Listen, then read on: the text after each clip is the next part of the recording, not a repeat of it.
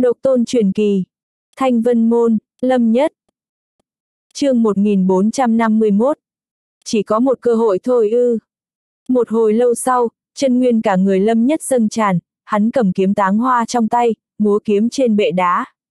Kiếm quang bay lượn, chân nguyên rít gào, những luồng sáng kiếm để lại dấu ấn thật sâu trong bệ đá cổ xưa. Muốn nắm giữ kiếm ý tiên thiên hoàn chỉnh thì phải sáng tạo ra một kiếm của mình. Thiên phá vân của mình có vẻ là tự sáng tạo, nhưng thực tế thì lại thoát thai từ thủy nguyệt kiếm pháp. Mạnh thì mạnh đấy, nhưng dấu vết của người trước để lại vẫn quá sâu đậm, không phải kiếm chiêu chỉ thuộc về mình. Tương tự, thiên lôi phá của Bạch Lê Hiên, thôn tinh của công tử Nham Tâm cũng như vậy. Muốn tự sáng tạo ra kiếm chiêu không có vết tích của người đi trước, khó, khó như lên trời. Nhưng nếu mình có thể thành công, chắc chắn sẽ tiến thêm một bước so với đám người đó, cũng sẽ có thể nắm giữ được kiếm ý tiên thiên hoàn chỉnh, đối phó với tần vũ cũng nắm chắc phần thắng hơn. Vẻ mặt lâm nhất nghiêm trọng hơn bao giờ hết, biết rõ nếu bị nhốt ở đây thì chắc chắn sẽ chết. Nhưng lúc này, trong lòng hắn có sự kích động trước nay chưa từng có, đó là khao khát bản năng của kiếm khách đối với kiếm ý tiên thiên. Ngay sau đó, trên bệ đá cổ xưa, Lâm Nhất cầm kiếm múa, thể hiện ra hết mọi thứ mình học được trên đời, tìm kiếm con đường của mình trong ánh kiếm mênh mông. Đồng thời, hắn cũng đang chờ đợi ánh sao rơi xuống lần tiếp theo. Tắm trong ánh sao đó, trong đầu sẽ hiện ra vô số suy nghĩ kỳ lạ, mang lại cho hắn vô số linh cảm. Không biết qua bao lâu, Lâm Nhất trải qua 8 lần tắm trong ánh sao trên bệ đá này. Mỗi một lần đều tiến bộ thần tốc, hắn mơ hồ cảm giác được mình đã tiến đến gần kiếm ý tiên thiên hoàn chỉnh hơn trước nhiều. Chỉ còn cách một tấm giấy mỏng che cửa sổ, chỉ cần tùy tiện đâm vào là có thể chọc thủng dễ dàng. Có thể tiến bộ thần tốc được như vậy không thể thiếu nội tình kiếm đạo của bản thân hắn, đổi lại là người bình thường chắc chắn không thể làm được. Lưu phong kiếm pháp, lôi âm kiếm pháp, bá kiếm, thủy nguyệt kiếm pháp, đó là bốn kiếm pháp mà mình học được từ trước tới nay. Trừ bá kiếm ra, ba kiếm pháp còn lại gần như mình đều đã tu luyện đến cảnh giới cao nhất. Việc mình cần làm là tìm được kiếm đạo thuận theo tâm ý của mình nhất, đồng thời chọc trùng lớp giấy mỏng che cửa sổ kia. Trong mắt Lâm Nhất lóe lên vẻ vui mừng, đã đến rất gần rồi. Nhưng đúng lúc đó, trong không gian đột nhiên vang lên tiếng của thập tam gia. Tiểu tử, người đã tắm trong ánh sao tám lần, nếu sau 9 lần mà vẫn không thể nắm bắt được kiếm ý tiên thiên, ánh sao rơi xuống sẽ thật sự làm ngươi bị thương. Ta đã nói ngươi không có tu vi tử phủ mà mạo hiểm xông lên tầng 6, hầu như chỉ cần một lần thôi, nhưng ánh sao kia sẽ vần ngươi thành cát bụi, ai cũng không cứu được ngươi. Tiếng nói của thập tam gia giống như một chậu nước lạnh hắt lên người lâm nhất. Hắn biến sắc, 9 lần, có nghĩa hắn chỉ còn một cơ hội nữa thôi sao? Lâm Nhất ngẩng đầu nhìn ánh sao do ánh kiếm diễn hóa giữa trời kia, vô số ánh sao hội tụ vào một chỗ, hóa thành mưa ánh sáng rực rỡ chút xuống một lần nữa. Chỉ có một cơ hội thôi ư. chương 1452. Hắn gánh vác quá nhiều thứ. Không cho phép Lâm Nhất nghĩ nhiều, vô vàn vì sao trên bầu trời tỏa ra phong thái rực rỡ nhất thế gian, chớp mắt chôn vùi hắn. Soạt, trong đầu lâm nhất lập tức xuất hiện hàng nghìn hàng vạn linh quang. Mỗi tia linh quang đều mang lại lợi ích không nhỏ, nhưng chúng rất hỗn loạn và không có thứ tự. Trong 8 lần trước, Lâm Nhất còn có thể yên tâm phân biệt khi không biết tình hình nguy hiểm. Bây giờ được biết đây là cơ hội cuối cùng, tâm trạng hắn bất chợt trở nên rối loạn. Kiếm ý tiên thiên là gì? Rốt cuộc nó là gì chứ? Rốt cuộc kiếm đạo của mình là gì? Rốt cuộc phải sáng tạo ra loại kiếm pháp gì mới có thể lĩnh ngộ được cái gọi là kiếm ý tiên thiên. Không lĩnh ngộ được sẽ chết sao? Chết tiệt! Mình đã hứa với hân tuyệt đại ca rằng phải đi đến cuối cùng, nhất định phải đi đến cuối cùng. Ha ha, một tên kiếm nô như ngươi mà cũng muốn tranh hạng nhất, đúng là mơ mộng hão huyền, có thể sống sót trong tay Vân chân đã coi như may mắn rồi, thế mà còn muốn đấu với ta. Tiểu tử, người đoán xem nếu ta giành hạng nhất sẽ đưa ra yêu cầu gì cho thánh sứ. Không ai có thể cướp đi nữ nhân của ta. Đợi sau khi giành lại thứ thuộc về mình, ta sẽ sỉ nhục ngươi gấp trăm lần. Hân nhiên sư tỷ của ngươi đã được định sẵn chỉ có thể trở thành lư đỉnh của ta, ta sẽ lấy đi tất cả mọi thứ của ngươi. Giữa sự hỗn loạn, nóng lòng và tuyệt vọng đan xen nhau, giọng nói của đại hoàng tử tần vũ chợt vang lên trong đầu hắn. Hắn ta tỏ ra cao cao tại thượng, nét mặt dữ tợn, khinh thường, đầy giễu cợt và sát khí. Chết tiệt, người cút ra ngoài cho ta.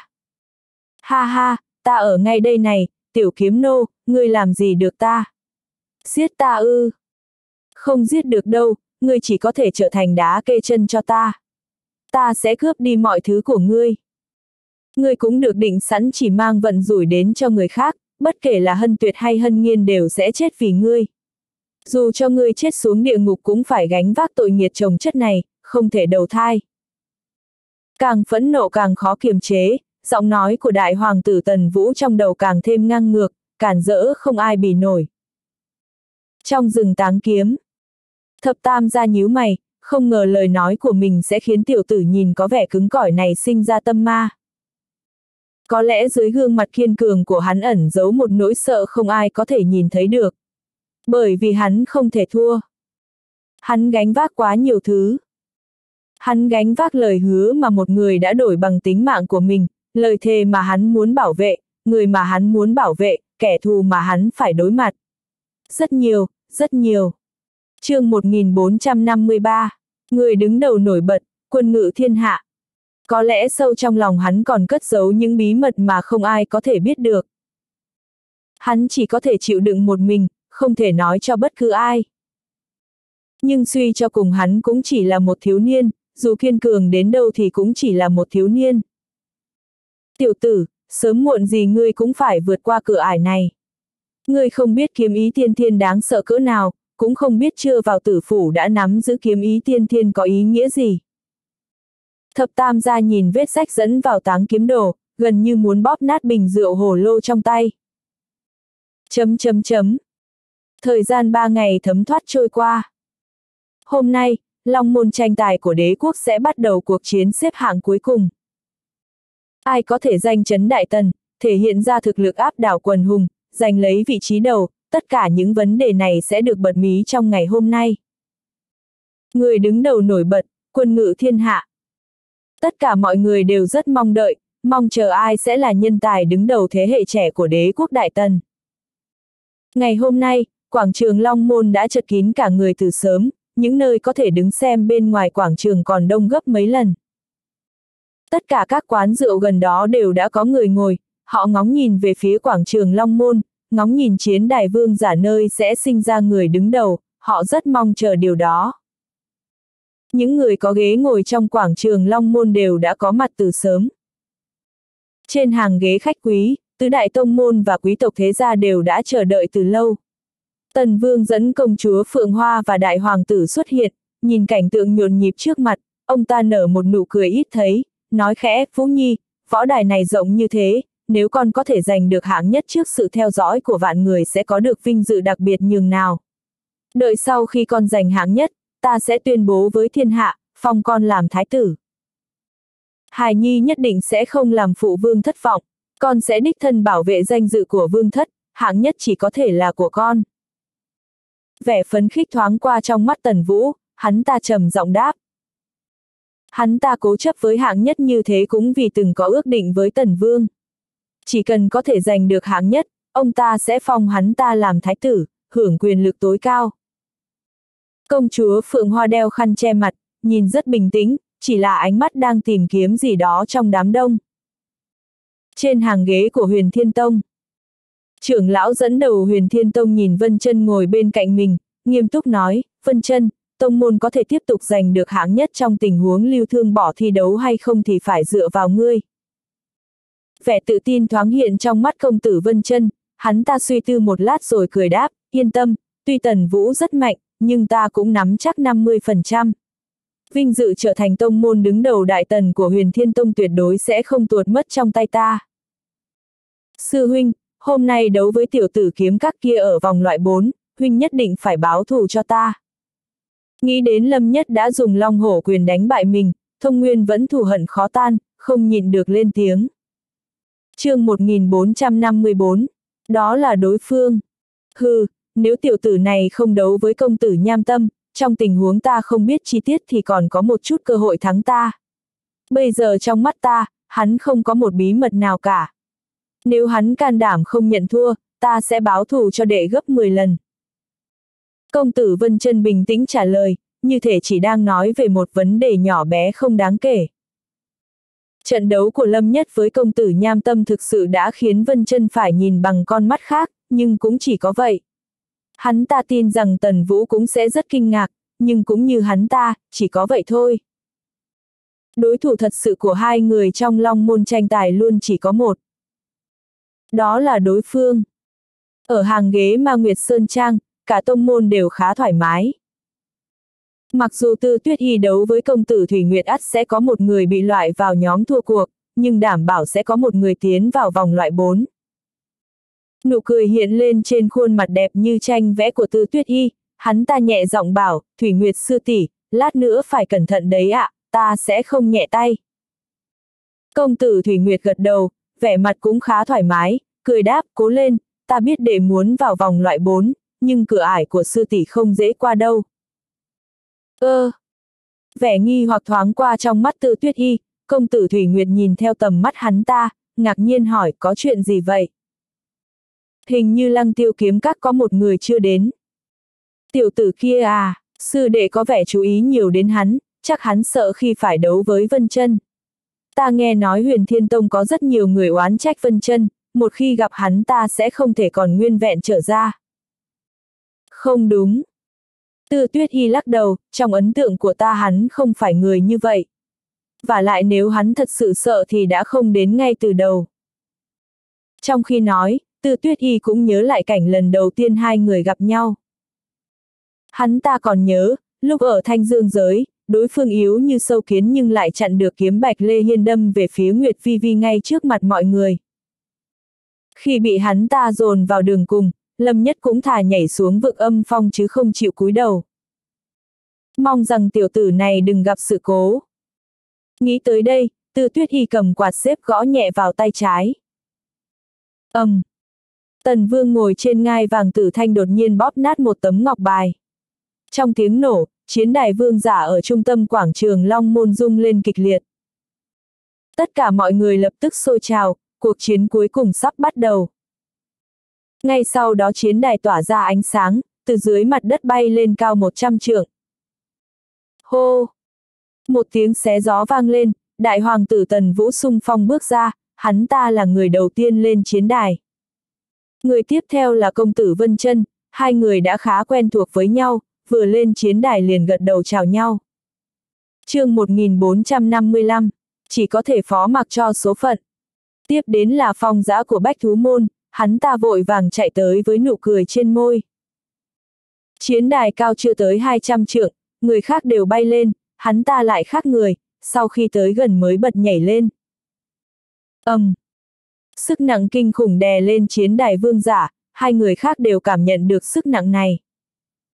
Sau đó, Bạch Lê Hiên, công tử Thủy Nguyệt, Tư Tuyết Y và nhạc thanh của thần sách doanh lần lượt lên đài. Các công tử lập tức tập hợp, tỏa sáng rực rỡ. Nhưng đảo mắt nhìn qua, mọi người phát hiện có gì đó không đúng, Lâm Nhất chưa đến.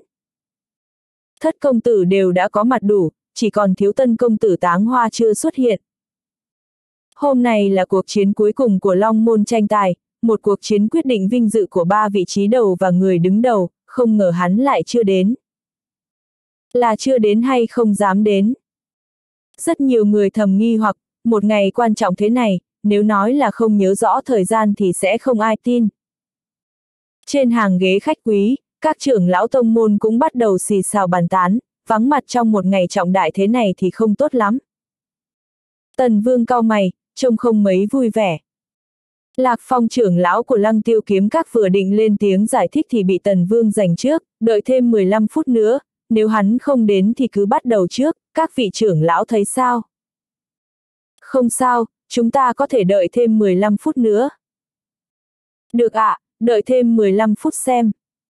15 phút sau, dù hắn có đến hay không chúng ta cũng sẽ bắt đầu. Ừm, quyết định như vậy đi. Thời gian dần trôi qua, 15 phút trôi qua khá nhanh, chẳng mấy chốc đã sắp hết. Sao vẫn chưa đến? Lạc Phong hơi lo lắng nhìn ra ngoài với vẻ mặt vô cùng nôn nóng. Hân Nhiên và Lý Vô Ưu cũng rất sốt ruột, không phải sợ Lâm Nhất sẽ mất thứ hạng mà họ lo lắng không biết hắn đang gặp chuyện gì và có nguy hiểm hay không. Trưởng lão, Lâm Nhất đã xảy ra chuyện gì phải không ạ? Không đâu, nếu hắn thật sự đang ở rừng táng kiếm thì không ai có thể động tới, hai người các người yên tâm.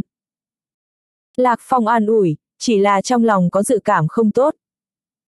Người ngoài không thể động tới hắn, nhưng nếu bản thân hắn gặp sự cố thì thực sự khó nói. Chỉ có thể phó mặc cho số phận. Đã đến thời gian, bây giờ cuộc chiến cuối cùng của Long Môn tranh tài sẽ bắt đầu. Trận đấu đầu tiên, công tử phi vũ với công tử chiến thú, tần vương ngồi trên ngai vàng tử thanh chậm rãi lên tiếng. Chúc mừng ngươi đi thẳng vào vòng loại 4. Audio điện tử võ tấn bền. chương 1456. Không biết sống chết. Tần Ngọc nhìn công tử Vân chân đang định xuống đài, cười chúc mừng. Một trận đấu tất thắng có gì vui.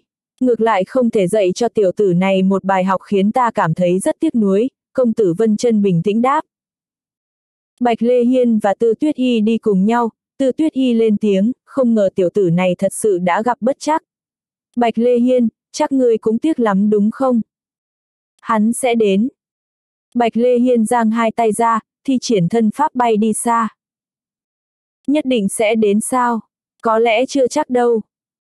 Tư tuyết y sờ mũi, nụ cười hiện lên trên khuôn mặt anh Tuấn, sau đó cũng rời đi. Trong chớp mắt, trên chiến đài vương giả chỉ còn lại hai người Tần Vũ và Phong Giã cần phải thi đấu. Trong tình huống thiếu một người, Long môn tranh tài bắt đầu như thường lệ. Trận đấu đầu tiên, Phong Giã đấu với Tần Vũ. Đối với trận đấu này, tất cả mọi người đều coi trọng Tần Vũ, việc hắn ta tiến vào vòng loại 4 không có gì bất ngờ cả. Điều đáng chờ mong duy nhất là Phong Giã có thể bước Tần Vũ lộ ra bao nhiêu thực lực. Cũng không phải do mọi người đánh giá thấp Phong Giã, chẳng qua từ đầu long môn tranh tài, hầu như trận đấu nào Tần Vũ cũng áp đảo đối thủ.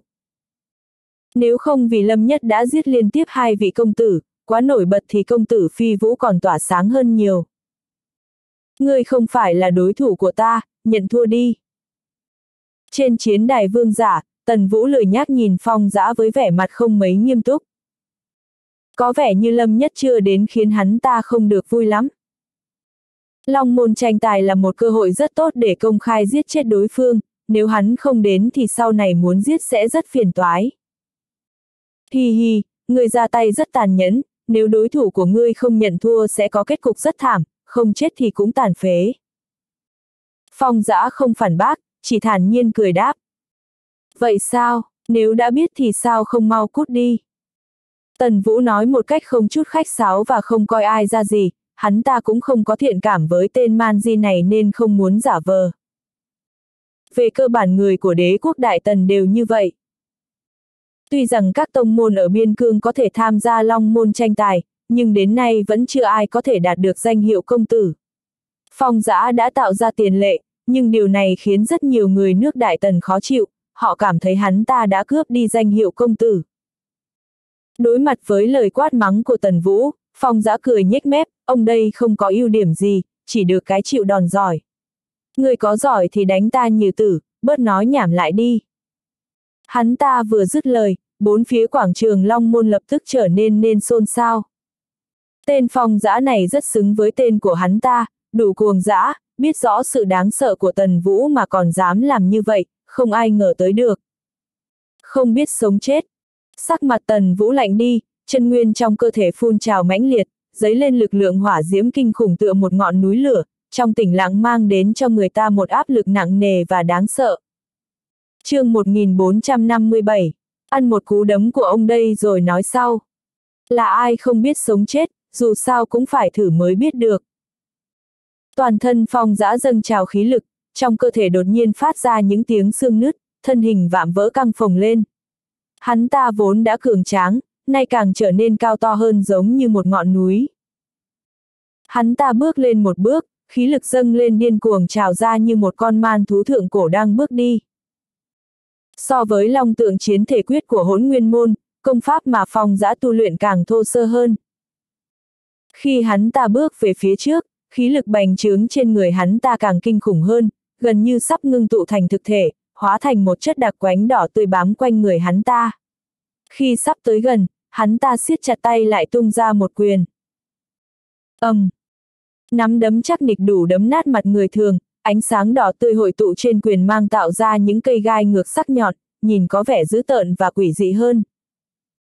Tần Vũ nhướng mày, nhếch miệng cười khẩy khinh thường, trò vặt bằng môn tà đạo, mọi thứ chỉ là hư ảo khi đứng trước sức mạnh tuyệt đối. Dầm dầm. Nói xong, chân nguyên hỏa diễm sôi trào trong cơ thể tràn ra mãnh liệt, lan khắp toàn thân. Lần đầu tiên công pháp cấp địa huyền dương quyết được hắn ta thi triển triệt để, trong chớp mắt khí tức của hắn ta tăng vọt lên tới tử phủ, sau đó tiếp tục tăng lên. Hôm nay đã là cuộc chiến cuối cùng, Tần Vũ không muốn tiếp tục che giấu nữa. Hắn ta muốn tuyên bố sự tồn tại của mình, đường đường chính chính áp đảo tên phong giã này, nói cho tất cả mọi người biết ai mới là nhân vật chính thật sự của Long Môn tranh tài. Phong giã đang gào thét xông tới lập tức giật mình, cơ thể vạm vỡ của hắn ta cứ thế bị khí thế của đối phương chân áp. Ăn một cú đấm của ông đây rồi nói sau. Nhưng khoảng cách đã đủ, phong giã giận dữ hét lên, quyền mang đánh tới như móng vuốt man thú. Móc câu đỏ tươi bám trên quyền mang dường như xé rách cả không khí, lúc đánh xuống như sấm sét đã cứ rách mấy luồng khí thật dài. Tần Vũ lạnh lùng giơ tay lên tung trưởng đỡ lấy, ánh sáng hỏa diễm trên người hắn ta đột nhiên ngưng tụ thành một ảnh ảo khổng lồ tựa thần linh hỏa diễm, trong tích tắc đã cao tới mấy trượng, còn lớn hơn phong giã gấp bội lần. Bùm! Trường mang áp đảo mọi thứ từ trên trời giáng xuống, đập nát cả quyền mang đang đánh tới kia. Trong cơn dư chấn, cuồng phong thổi qua trên chiến đài vương giả. Ngay khi gió nổi lên, tần vũ bước ra một bước, lại tung thêm một trường. Bùm! Phong giã lùi nhanh về sau mấy bước, máu chảy ra từ khóe miệng, toàn thân vô cùng đau nhức, chân nguyên hỏa diễm không ngừng càn quét trong cơ thể. Tiếp nào! Trong tiếng gào thét, phong giã dẫm mạnh xuống đất, người lơ lửng trên không trung, quyền mang nở rộ như liệt diễm, tỏa ra ngàn vạn tia sáng. Ngàn vạn tia sáng tựa như những con dao xà dưới nước, chúng lộ ra răng nanh, cắn về phía tần vũ. Sát chiêu này vô cùng khủng khiếp, dường như đất trời cũng biến sắc vì nó. Tần vũ khẽ cau mày, thoáng sững sờ, sau đó lập tức nói trò trẻ con. chương 1458, Tư Tuyết y đấu với công tử Thủy Nguyệt. Ánh sáng lửa bao phủ toàn thân hắn ta lập tức dồn nén vào tay, bàn tay tỏa ra ánh sáng rực rỡ như ánh mặt trời, ngay sau đó hắn ta giơ tay lên chặn lại những con dao xà được biến hóa từ ngàn vạn tia sáng kia. Ánh sáng huyền dương. Bùm. Trước trường mang tỏa sáng rực rỡ này, những con dao xà được biến hóa từ tia sáng bị bốc hơi toàn bộ chỉ trong tích tắc. Dừng tại đây thôi. Khi dao xà bốc hơi, tần vũ nhướng mày lao tới trước mặt phong giã, đứng chắp tay, chỉ dùng tay phải tung trường. Dầm dầm dầm. Hắn ta tung ra bốn trường liên tiếp, cứ mỗi một trường, phong giã sẽ hộc ra một búng máu và lùi lại một bước. Cút đi. Đến cú trưởng thứ năm, cơ thể như ngọn núi nhỏ của phong giã bay ra khỏi chiến đài rồi ngã ẩm xuống đất. Thua. Mặc dù mọi người đã sớm ngờ tới phong giã sẽ thua, nhưng không ngờ lại thua một cách thê thảm như vậy. Từ đầu đến cuối, tay trái tần vũ chỉ đặt ở sau lưng, chưa từng đưa ra. Nhưng phong giã cũng coi như rất tuyệt vời, như hắn ta đã nói, hắn ta chịu đòn rất giỏi, sau khi bị đánh rơi khỏi chiến đài, hắn ta vẫn có thể đứng dậy cử động, hùng hổ đi về. Trận đấu này cũng coi như đã thể hiện đại khái thực lực của Tần Vũ trước mặt mọi người. Cuối cùng họ cũng được thấy thực lực chân chính của Tần Vũ, thảo nào hắn ta có thể đánh đâu thắng đó, không hiển lộ tài năng.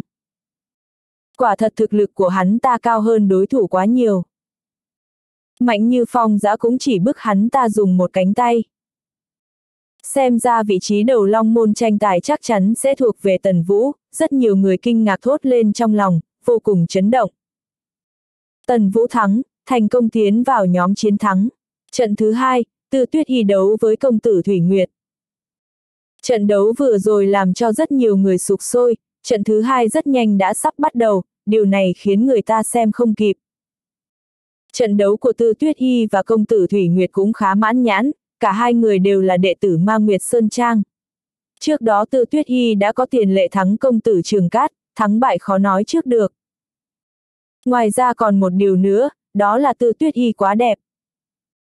Chỉ cần hắn ta vừa lên đài, hầu hết các nữ võ giả ở xung quanh đều không thể rời mắt khỏi hắn ta. Phải nói rằng trận đấu này đã không phụ sự mong chờ của mọi người. Cuối cùng công tử Thủy Nguyệt cũng thi triển Yên Vân kiếm pháp danh chấn đại tần của nàng ta, bất ngờ là Tư Tuyết Y cũng sử dụng Yên Vân kiếm pháp. Chẳng qua là một người dùng kiếm, còn Tư Tuyết Y vẫn dùng chiếc quạt xếp vẽ ra non sông trăng sáng, biển hồ minh mang này. Hai nhân tài đến từ Ma Nguyệt Sơn Trang cùng thi triển Yên Vân kiếm pháp khiến người ta hoa cả mắt, họ phát huy thuần thục sức mạnh của Yên Vân kiếm pháp. Trận đấu gay cấn hơn những gì mọi người tưởng tượng chương 1459, nhạc thanh giống như đã chết. Có thể thấy bất luận là công tử Thủy Nguyệt hay Tư Tuyết Y, cả hai đều có khát vọng với vòng loại 4.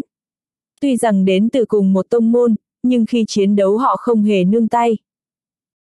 Sau cùng Tư Tuyết Y đã có nước cờ cao hơn, thắng công tử Thủy Nguyệt nửa chiêu. Hắn ta dùng quạt làm kiếm, thi triển Yên Vân kiếm pháp tấn công bất ngờ theo một cách khác, đi theo con đường mà người ngoài không thể nào hiểu được. Mặc dù công tử Thủy Nguyệt đã tu luyện Yên Vân kiếm pháp đến cảnh giới rất cao, có thể nói là hoàn hảo, nhưng sau 100 chiêu, nàng ta rõ ràng không chịu được nữa, nhanh chóng nhận thua, chắp tay đưa Tư Tuyết Y vào vòng loại 4. Cảm ơn sư tỷ đã nhường. Tư Tuyết Y phe phẩy quạt xếp, chắp tay khiêm tốn nói. Ta không nhường đâu, sư đệ đã lọt vào vòng loại 4 thì ít nhất cũng phải giành được một vị trí trong ba hạng đầu cho Ma Nguyệt Sơn Trang chúng ta đấy. Tuy đã thua, nhưng thua trong tay đồng môn của mình, tâm trạng của công tử Thủy Nguyệt cũng không tệ lắm. Lại thêm một người chiến thắng. Nhưng vẫn chưa nhìn thấy bóng dáng lâm nhất trên hàng ghế lăng tiêu kiếm các, điều này không khỏi khiến người ta nghi hoặc. Cuộc chiến vòng loại 4 đã sắp kết thúc, chẳng lẽ hắn thật sự vắng mặt ư? Trên ngai vàng tử thanh, Tần Vương nhìn thoáng qua sau đó lên tiếng, trận thứ ba, công tử Tiểu Bạch đấu với công tử Thanh Sơn. Theo quy định thì Lâm Nhất đã thua, chỉ có thể tranh đấu trong nhóm thua cuộc, không thể tranh giành ba vị trí đầu.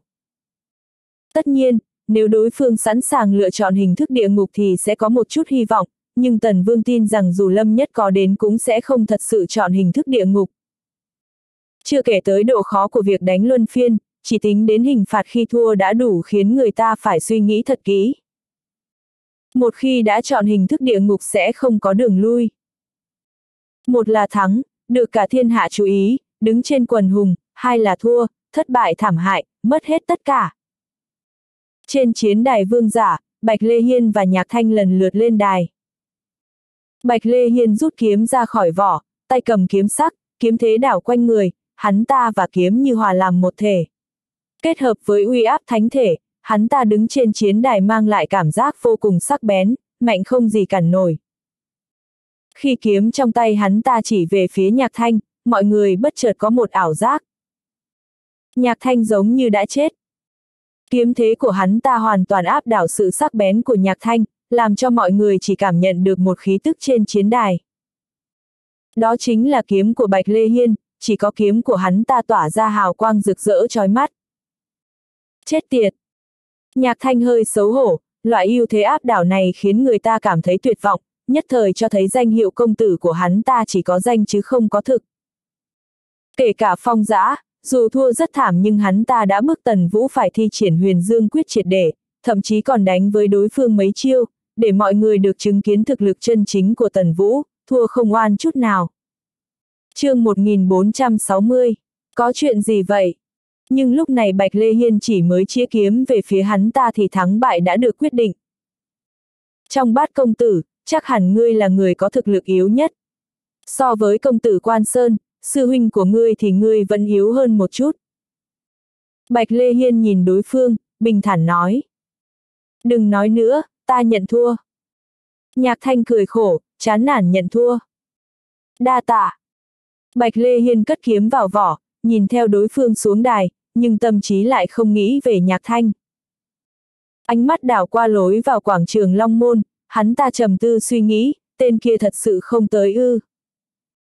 Trận thứ tư, công tử Vân chân đấu với công tử Táng Hoa. Sau khi Bạch Lê Hiên xuống đài, Tần Vương bình tĩnh lên tiếng. Lâm Nhất đến muộn tương đương với việc bỏ quyền thi đấu, Vân chân đã thắng, hắn ta chỉ cần đi ngang qua sân khấu là có thể tiến vào vòng loại 4. Dù Lâm Nhất có đến cũng phải nhận được sự đồng ý của Vân chân mới có tư cách thi đấu.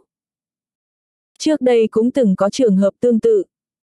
Nhưng chỉ cần đối thủ không đồng ý, dù đến kịp lúc cũng sẽ bị cưỡng chế xử thua. Vân chân chán trường đi lên chiến đài vương giả, nhìn trọng tài bảo, đừng lề mề nữa, tiểu tử này không đến được đâu. Trọng tài nghĩ thầm, Long môn tranh tài 3 năm mới tổ chức một lần, vì không tới kịp mà bị xử thua thì thật đáng tiếc. Nhưng quy tắc là quy tắc, không thể thay đổi vì một người được. Ơ! nhưng khi trọng tài vừa định lên tiếng tuyên bố Vân chân giành chiến thắng, mặt ông ta đột nhiên biến sắc. Có chuyện gì vậy? Vân chân nhìn theo tầm mắt của trọng tài. Ở cuối tầm mắt, một bóng dáng quen thuộc đập vào mắt, con người hắn ta đột nhiên co lại.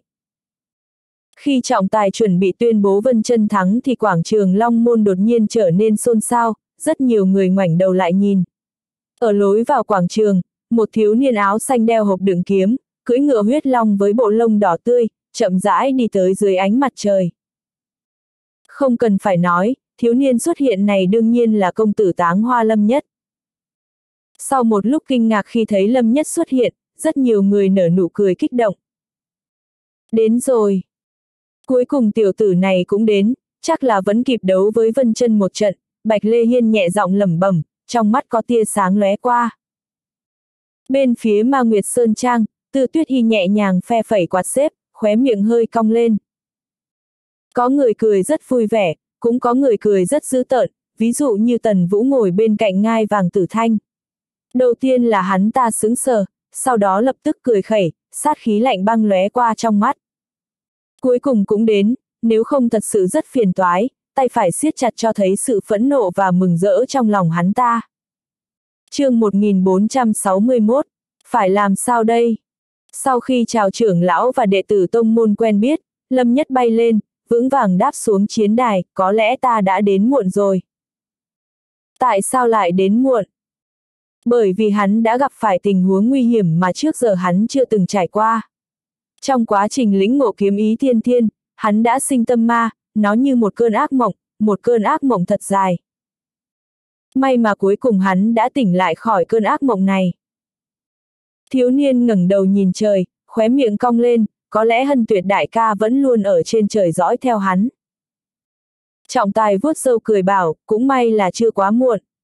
Người đã đến kịp cuộc chiến cuối cùng, mọi người đã có mặt đủ, vậy không phải dài dòng nữa, trận cuối của vòng loại 4 bắt đầu thôi.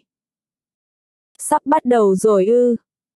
Đám đông trên quảng trường Long Môn lập tức sôi trào, trận đấu của công tử Táng Hoa và công tử Vân chân chắc chắn sẽ rất gay cấn. Mọi người cứ tưởng Lâm Nhất đã từ bỏ, đã được định sẵn sẽ lỡ mất trận đấu này.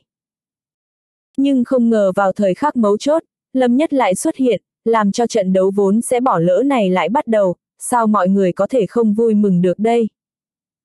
Ai nói sẽ bắt đầu? Vân chân cười mỉa mai, nhìn trọng tài, hình như các hạ quên rằng trận đấu này phải chờ ta gật đầu mới có thể bắt đầu. Chuyện này, đúng là ngươi có quyền lợi này, nhưng nếu ta nhớ không lầm thì trước đó ngươi không nói như vậy. Trọng tài ngẩn ra một lúc rồi cau mày đáp. Ông ta cứ tưởng công tử Vân chân sẽ không từ chối, dù sao trước đó hắn ta còn bảo cảm thấy tiếc nuối vì không được đánh với Lâm Nhất, giọng điệu cũng không giống như giả vờ. Lúc này Lâm Nhất đã đến, lẽ ra phải như mong muốn của hắn ta mới đúng. Đúng vậy, nhưng bây giờ ta đã đổi ý. Tiểu tử, nếu đã muộn thì đừng nghĩ rằng bản công tử sẽ cho ngươi đặc quyền. Ngươi muốn đánh với ta một trận cũng được thôi, nhưng với điều kiện là phải phế bỏ long hổ quyền, quỳ xuống xin lỗi sư đệ thông nguyên của ta, nếu không thì ngoan ngoãn đi đấu với nhóm thua cuộc đi.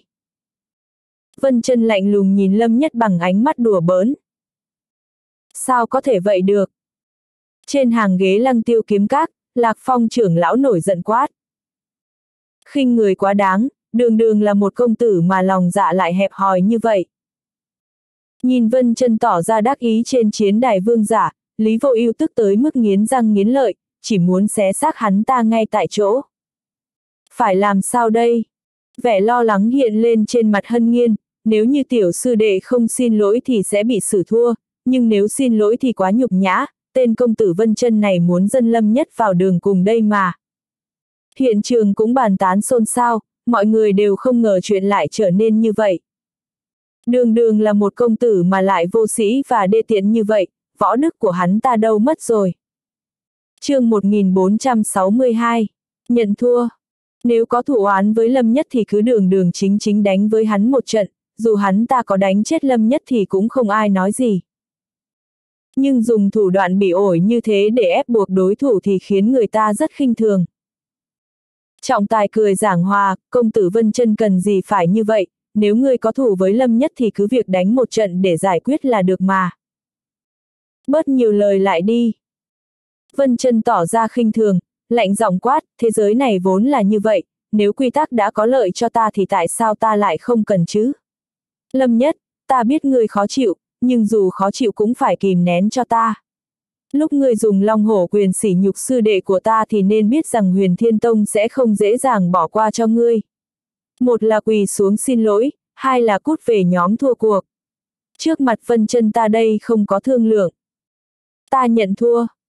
Không đợi hắn ta nói xong, Lâm Nhất đã bình tĩnh trả lời.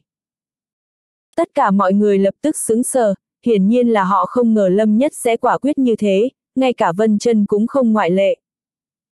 Chết tiệt, tiểu tử này. Khi Vân chân đang tức tối trong lòng, vừa ngước mắt lên thì thấy vẻ lạnh lẽo bắn ra từ trong mắt thiếu niên, tim hắn ta chợt thắt lại. Nhưng ta thề rằng trận đấu này sẽ không kết thúc dễ dàng vậy đâu. Lâm Nhất nhìn đối phương bằng ánh mắt đầy sắc bén, nói ra từng chữ một. Ha ha, ngươi muốn đấu theo hình thức địa ngục đúng không? Ta chờ ngươi, ta sẽ làm cho ngươi mất hết tất cả, không còn gì trong tay. Công tử Vân chân ngẩn ra, sau đó lập tức cười gằn. Trọng tài hơi tiếc nuối nhìn Lâm Nhất, nếu ngươi nhận thua thì chỉ có thể vào nhóm thua cuộc, tranh thứ hạng 5 6 7 8. Đa tạ tiền bối. Lâm Nhất thi lễ rồi nhảy xuống chiến đài ở bên dưới.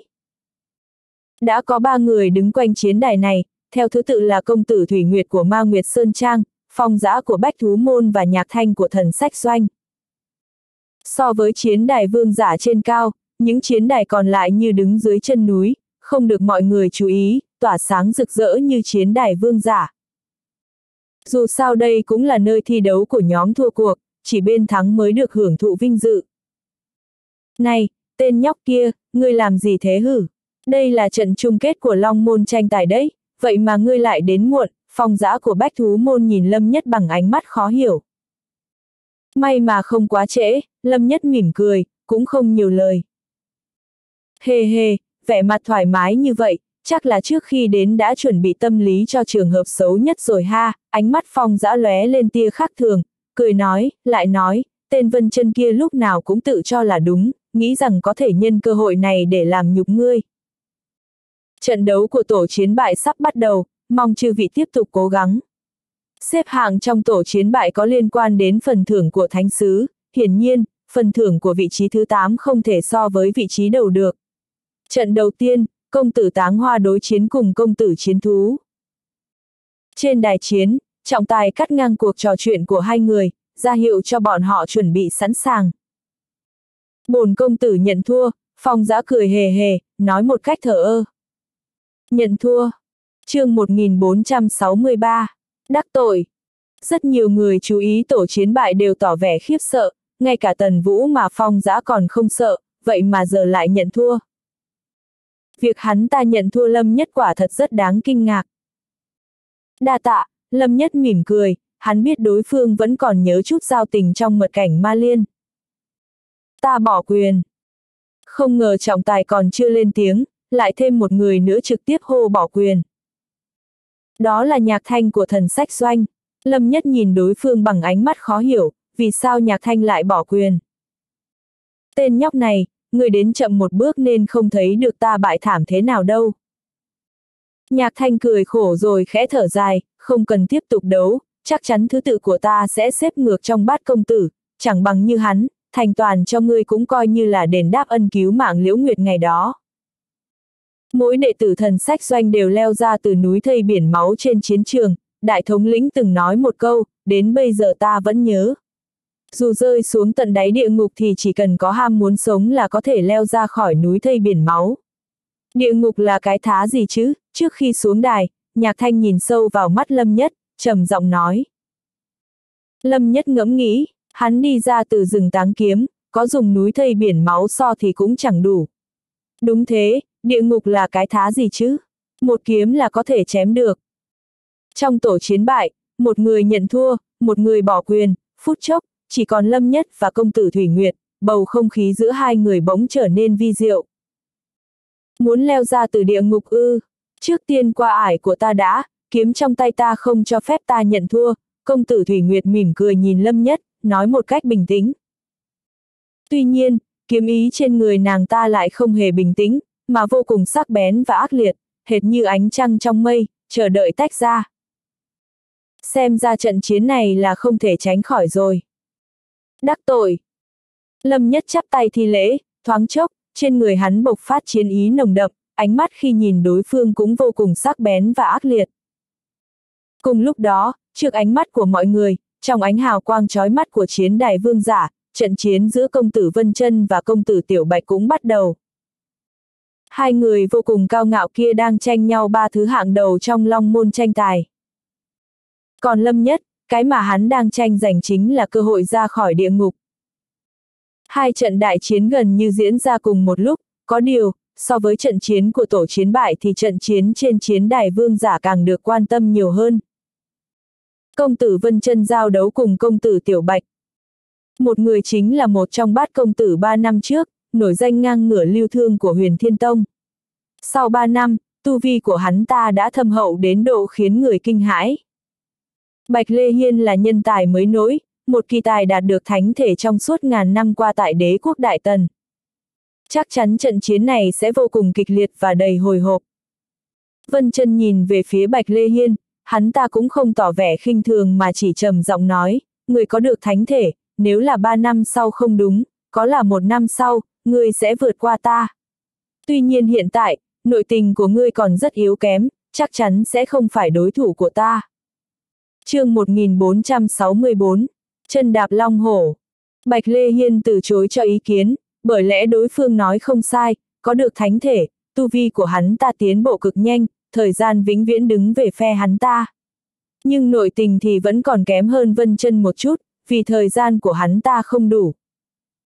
Tuy nhiên, nhận thua lại không phải tính cách của hắn ta.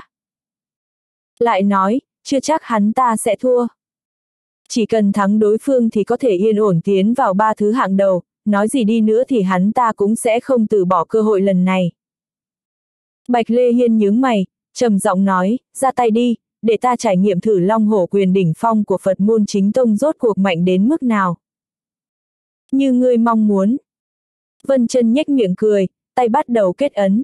Một khắc sau, sau lưng hắn ta đột nhiên xuất hiện Phật quang màu vàng vô cùng ngưng thực, Trung tâm Phật quang có ấn chữ vạn, đang không ngừng tỏa ra bốn phía. Phút chốc, toàn thân vân chân được tắm rửa trong Phật quang, bảo tướng trang nghiêm, Phật uy ngập trời. ầm, um. Ngay lập tức, khí thế trên người hắn ta đạt đến mức dù là cao thủ cảnh giới tử phủ cũng phải e sợ lùi bước. Tu vi thật đáng sợ. Nội tình, đây chính là nội tình. Cảnh giới huyền võ lại có thể bộc phát huy nghiêm khiến tử phủ phải lùi bước. Sắp đến thời khắc quyết chiến, Vân chân không có ý giữ lại át chủ bài nữa rồi. Khi nhìn thấy cảnh này, quần chúng vây xem ở khắp bốn phía đều lộ vẻ khiếp sợ. Vân chân chỉ mới dựa vào tu vi Phật môn của bản thân mà thôi, không hề thông qua bất kỳ bí thuật nào mà đã đạt đến cảnh giới như thế. Nếu vận dụng bí thuật thì liệu sẽ khủng khiếp đến mức nào? Chỉ nghĩ thôi cũng thấy gai người rồi. Vẻ mặt Bạch Lê Hiên không hề thay đổi, chỉ nhướng mày, trong cơ thể lập tức bộ phát tiếng kiếm ngâm kinh thiên động địa, như một thanh thánh kiếm ra khỏi vỏ, toàn thân hắn ta bộc phát kiếm ý sắc bén, dưới sự phụ trợ của thánh thể, luồng kiếm ý kia càng thêm hoàn mỹ. Kiếm thế trên người hắn ta dường như hóa thành thực chất, đột ngột mọc lên từ mặt đất, chọc thủng mây xanh.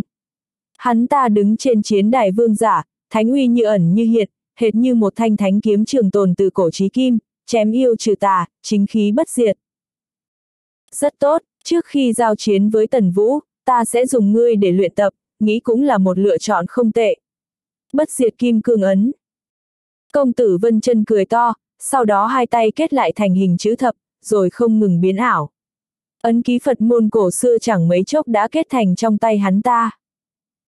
Cùng lúc đó, hắn ta bước lên một bước, sau đó nhảy vọt lên không trung. Tiếng rồng ngâm hổ gầm bộc phát, hai cái bóng mờ, một rồng một hổ vô cùng hung tợn, bị hắn ta dẫm dưới chân hệt như súc sinh. Chân đạp long hổ. Ngay khoảnh khắc dị tượng sinh ra, uy thế trên người vân chân ẩm ẩm tăng vọt, lúc lên đến đỉnh cao, bất diệt kim cương ấn trong tay hắn ta hung hăng nện xuống. chương 1465, Kinh lôi thiểm. Kim cương ấn hóa thành một đài sen, trên đài sen có kim cương trừng mắt, để lộ ánh mắt lạnh lẽo lóe lên từng tia lửa điện, chấn nhiếp nhân tâm. Việc này, ôi trời ơi, đây thật sự là long hổ quyền ư. Kim cương hiện thế, chân đạp long hổ, lần đầu nhìn thấy dị tượng bực này đấy, Phật uy như thế thì ai phá được chứ? Khắp quảng trường Long Môn liên tục vang lên tiếng kinh hô, quả thật khiến người ta khó mà tưởng tượng được. Xoẹt xoẹt. Trên chiến đài vương giả, bỗng chốc tia lửa điện bắn tung tóe, bao phủ khắp đài chiến đấu rộng lớn, chiếu sáng cả khoảng không gian. Đó là Bạch Lê Hiên, hắn ta đã rút kiếm.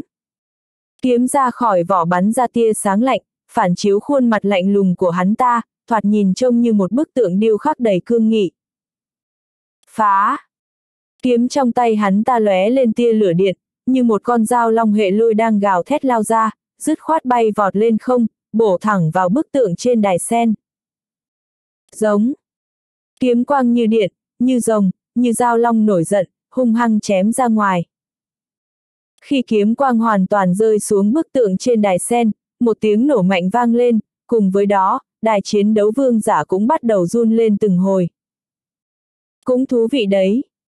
Tuy bị đối phương đâm rách kim cương ấn, nhưng công tử Vân chân vẫn nhếch miệng cười.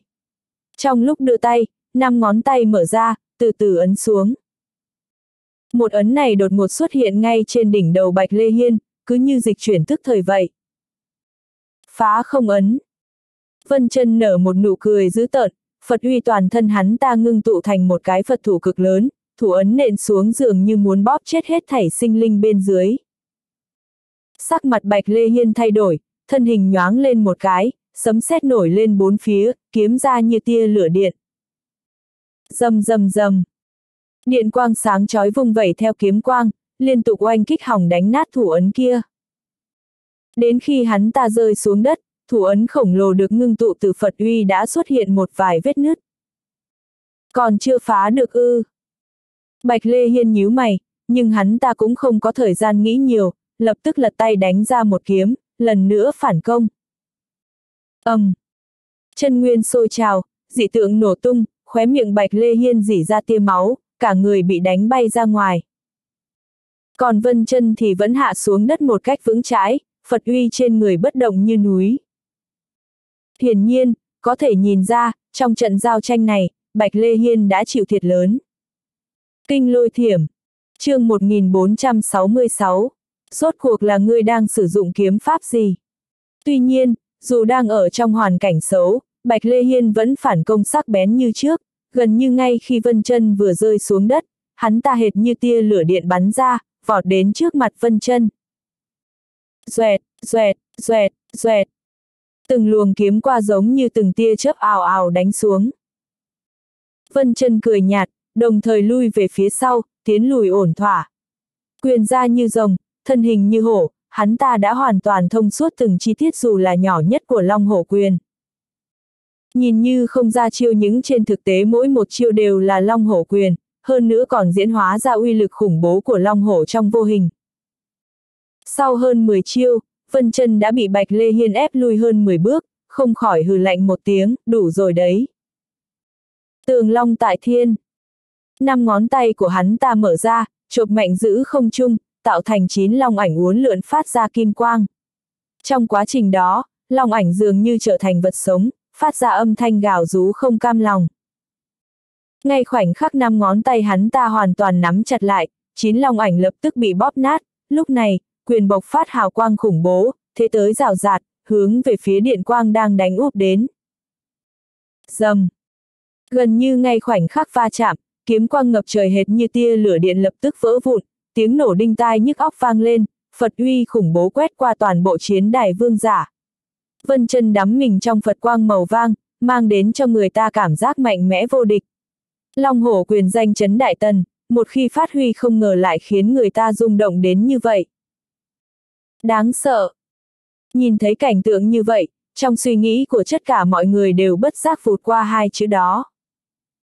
Trên đài cao, trận chiến đang diễn ra, Vân Chân và Bạch Lê Hiên đấu vô cùng kịch liệt. Cùng lúc đó, trên đài chiến bình thường bên dưới, trận chiến giữa Lâm Nhất và công tử Thủy Nguyệt cũng có vài phần đặc sắc.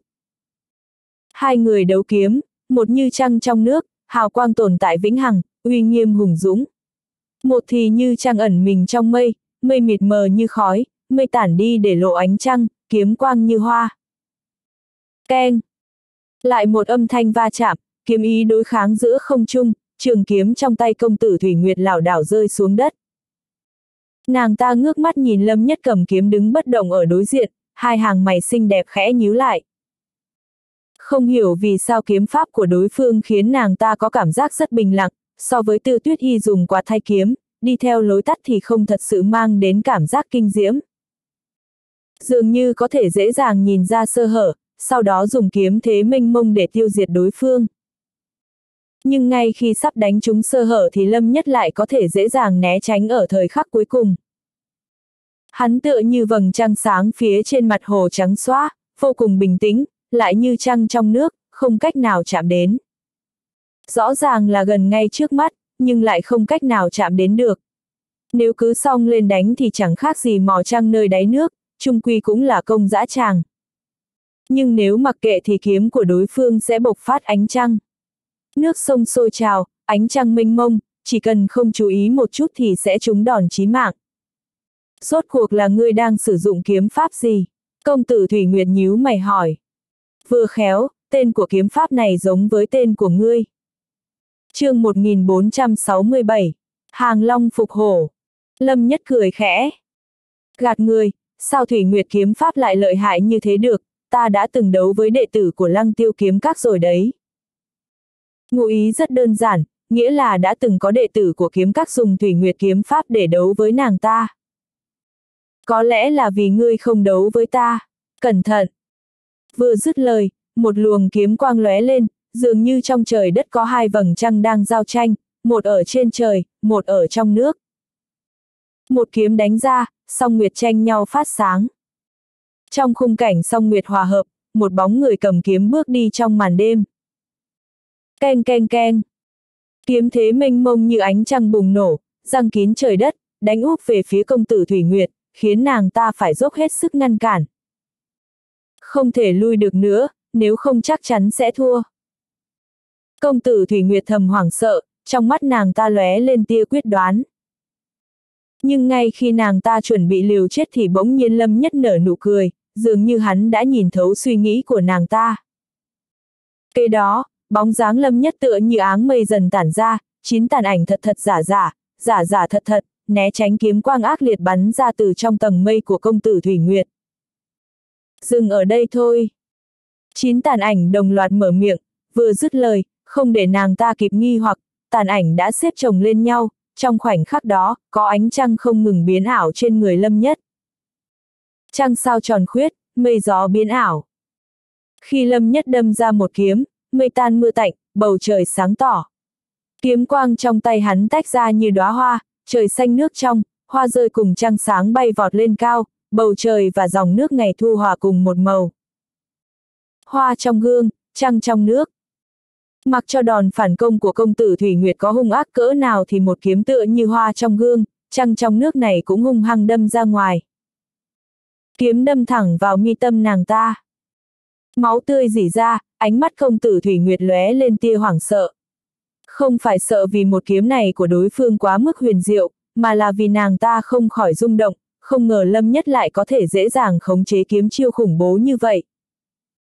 Cứ như, hắn đang cầm một món đồ chơi đặt ngay giữa mi tâm nàng ta với khả năng khống chế vô cùng thuần thục. Đa tạ. Lâm nhất tra kiếm vào vỏ, chắp tay nhìn về phía đối phương. Sờ lên vết máu ở mi tâm, công tử Thủy Nguyệt lộ vẻ chua chát, bất đắc dĩ nói, tài nghệ không bằng người, quả thật ta đã thua, đa tạ các hạ đã nương tay. Trong thinh lặng, Lâm Nhất đã giành được thắng lợi trong tổ chiến bại. Lại có thêm một công tử thua dưới kiếm của hắn, chỉ đáng tiếc là không ai chú ý đến cảnh tượng vừa rồi. Tất cả đều bị trận chiến kịch liệt giữa Bạch Lê Hiên và Vân Chân trên chiến đài vương giả hấp dẫn. Bầu không khí dần nóng lên, mọi người không dám rời mắt khỏi đài chiến. Hiện tại, trận quyết chiến giữa hai người này cũng đã bước vào giai đoạn cuối. Hàng Long phục hổ. Thiên lôi phá. chương 1468. Cũng biết điều đấy. Khi ba ấn xếp chồng lên nhau, công tử Vân Chân đã dùng Phật uy hung mãnh và bá đạo để thi triển ra hàng long phục hổ. Bạch Lê Hiên cũng không hề kém cạnh, hắn ta không lùi bước mà còn thi triển kiếm chiêu do chính mình tự nghĩ ra, xông lên tiếp chiêu của đối thủ.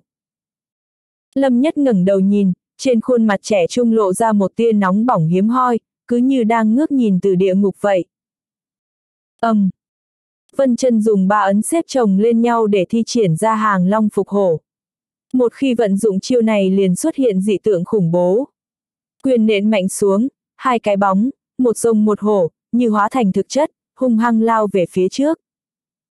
Nhưng điều khiến người ta cảm thấy kinh ngạc đó chính là trên cổ của hai cái bóng long hổ đều có một sợi xích quấn chặt, cứ như long hổ thật sự là thú cưng của Vân chân, hoàn toàn thần phục dưới quyền của hắn ta. Ngay khi hư ảnh long hổ hình thành từ ba ấn xếp chồng lên nhau sắp nện xuống, gần như hoàn toàn cắn nuốt Bạch Lê Hiên thì, trên bầu trời đột nhiên xuất hiện một tia sét dữ tợn, tia lửa điện bắn tung tóe, kiếm thế trên người Bạch Lê Hiên điên cuồng tăng lên. Đó là thiên lôi phá, sát chiêu mà hắn ta tự nghĩ ra được từ kinh lôi kiếm pháp. Kiếm quang xẹt qua, cứ như có một tia sét cực mạnh xé rách không trung, chiếu sáng toàn bộ quảng trường Long Môn. Tiếng nổ đinh tai nhức óc quanh quẩn bên tai mọi người, khiến lòng người rung động không thôi. Ngay lúc đó, hư ảnh long hổ hình thành do kim cương ấn, phá không ấn và phục ma ấn xếp chồng lên bỗng chốc xuất hiện vết nứt, và vết nứt không ngừng mở rộng dưới sự càn quét điên cuồng của kiếm quang. Xoẹt xoẹt.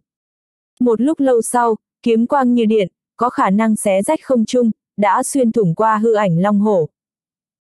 Xiềng xích trên hư ảnh long hổ bị đứt thành từng khúc.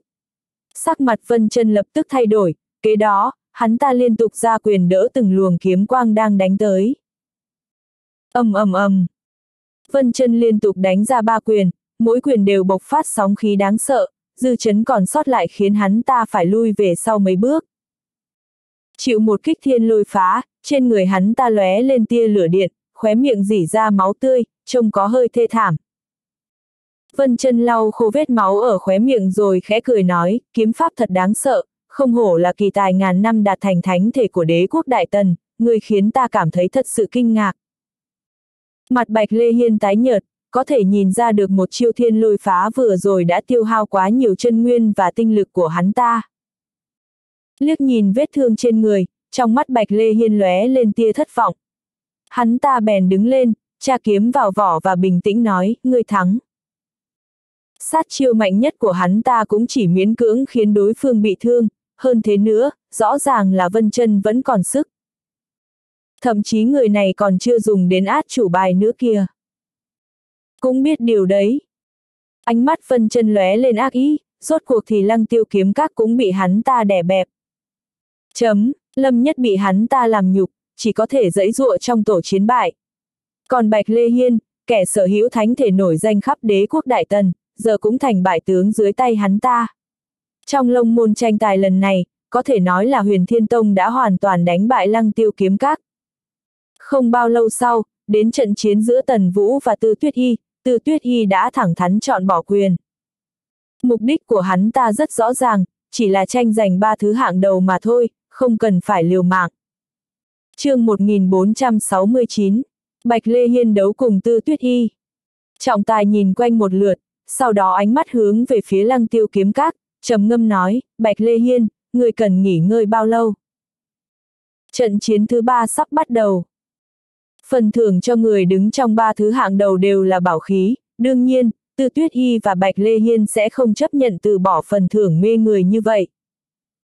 Dù bản thân không cần thì cũng có thể dùng thứ đó để đổi lấy một lượng lớn tài nguyên tu luyện.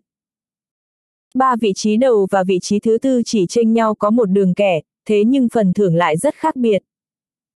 Không cần. Bạch Lê Hiên đang nhắm mắt dưỡng thần thì bỗng mở mắt ra, ánh mắt hắn ta lóe sáng, trầm giọng nói. Vèo. Giữa không trung, hai bóng người lao vào đến, sau đó vững vàng rơi xuống chiến đài vương giả. Bạch Lê Hiên đấu cùng Tư Tuyết Y. Hai yêu nghiệt của đế quốc Đại Tần đã từng nổi tiếng ngang nhau trong suốt một thời gian dài, cuối cùng cũng đợi đến cuộc quyết đấu này. Không thể không nói, cuộc đại chiến này khiến người ta tương đối kỳ vọng. Bất kể là Bạch Lê Hiên hay Tư Tuyết Y, cả quãng đường từ đầu đến cuối trong long môn tranh tài lần này. Hai người bọn họ đều biểu hiện ra được thực lực vô cùng mạnh mẽ, có thể đi được đến ngày hôm nay, kỳ thực cũng không nằm ngoài dự đoán của mọi người. Bạch Lê Hiên, hình như người rất tự tin sẽ đánh bại được ta. Tư tuyết y phẩy nhẹ chiếc quạt trong tay khẽ cười nói, đối phương dường như chẳng nghỉ ngơi mấy. Vừa mới đại chiến với Vân chân xong, chỉ nhắm mắt điều tức một chút liền bắt đầu trận quyết đấu với mình. Phải biết là, hắn ta chưa giao đấu với Tần Vũ. Đó là đương nhiên, người đến dũng khí để giao đấu với Tần Vũ cũng chẳng có thì làm sao mà đấu lại được với ta. Hạng ba chắc chắn là có một chỗ cho ta, người cứ ngoan ngoãn đứng ở hạng 4 đi, bảo khí thì không cần phải mơ mộng nữa. Trong lời nói của Bạch Lê Hiên mang đầy vẻ tự tin ngang ngược.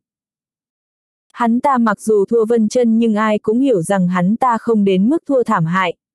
Chỉ là nền tảng của bản thân hắn ta so với đối phương kém hơn một chút mà thôi. Chứ không phải là vì căn cốt và khả năng của hắn ta không bằng được đối phương, cho hắn ta thêm chút thời gian, sớm muốn gì cũng có thể vượt qua được đối phương. Sự kiêu ngạo của hắn ta cũng không vì thế mà giảm đi, trái lại càng lúc càng bành trướng thêm. Bên dưới đài, có rất nhiều người nhìn chằm chằm vào Bạch Lê Hiên và Tư Tuyết Y, ánh mắt bọn họ nóng hừng hực. Nguyên nhân chẳng vì gì khác, là vì hai người này đều là những tuyển thủ được đánh giá cao sẽ giành được hạng ba, có rất nhiều người đã đặt cược cho hai người này trong lầu nhàn vân. Bất luận là ai thắng ai thua đều sẽ có một đám người kiếm được bộn tiền, tiền nhét đầy túi.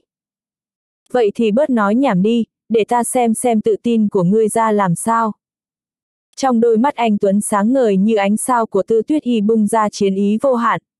Hắn ta vì hạng ba này mà từ bỏ quyền thi đấu khi đối đầu với Tần Vũ, cuộc chiến này nếu như không thắng thì quả thực là quá mất mặt.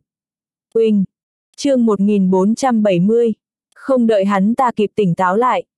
Kiếm thế toàn thân hắn ta dày đặc tầng tầng lớp lớp như mây, chiếc quạt trong tay phát ra quang mang chói lòa tựa như một luồng kiếm quang bắn thẳng ra ngoài. Vén mây thấy trăng. Chiếc quạt tựa như kinh hồng, loáng lên bay qua, vào giây phút khi hắn ta xuất chiêu. Kiếm thế như mây mù quấn quanh người bỗng nhiên tản ra, cơ thể hắn ta phát ra ánh sáng chói lọi. Khiến cây quạt bay ra kia như một thanh kiếm của tiên nhân trong núi cao lướt nhanh đáp xuống. Dầm. Vẻ mặt bạch lê hiên lạnh lẽo, tuốt kiếm khỏi vỏ, kiếm thế như sấm sét nổi lên. Kèm theo đó là kiếm mang tựa tia sét xé rách màn mây, hất tung cây quạt đang bay đến. Yên vân như mộng. Kiếm như khói, người như mây, mây khói như mộng. Cơ thể tư tuyết y treo giữa không trung đón lấy chiếc quạt bị đánh văng ra ngoài, thân như khói mây, từng luồng kiếm quang bám giết theo bóng hình lúc ẩn lúc hiện, ảo ạt chém về phía người Bạch Lê Hiên.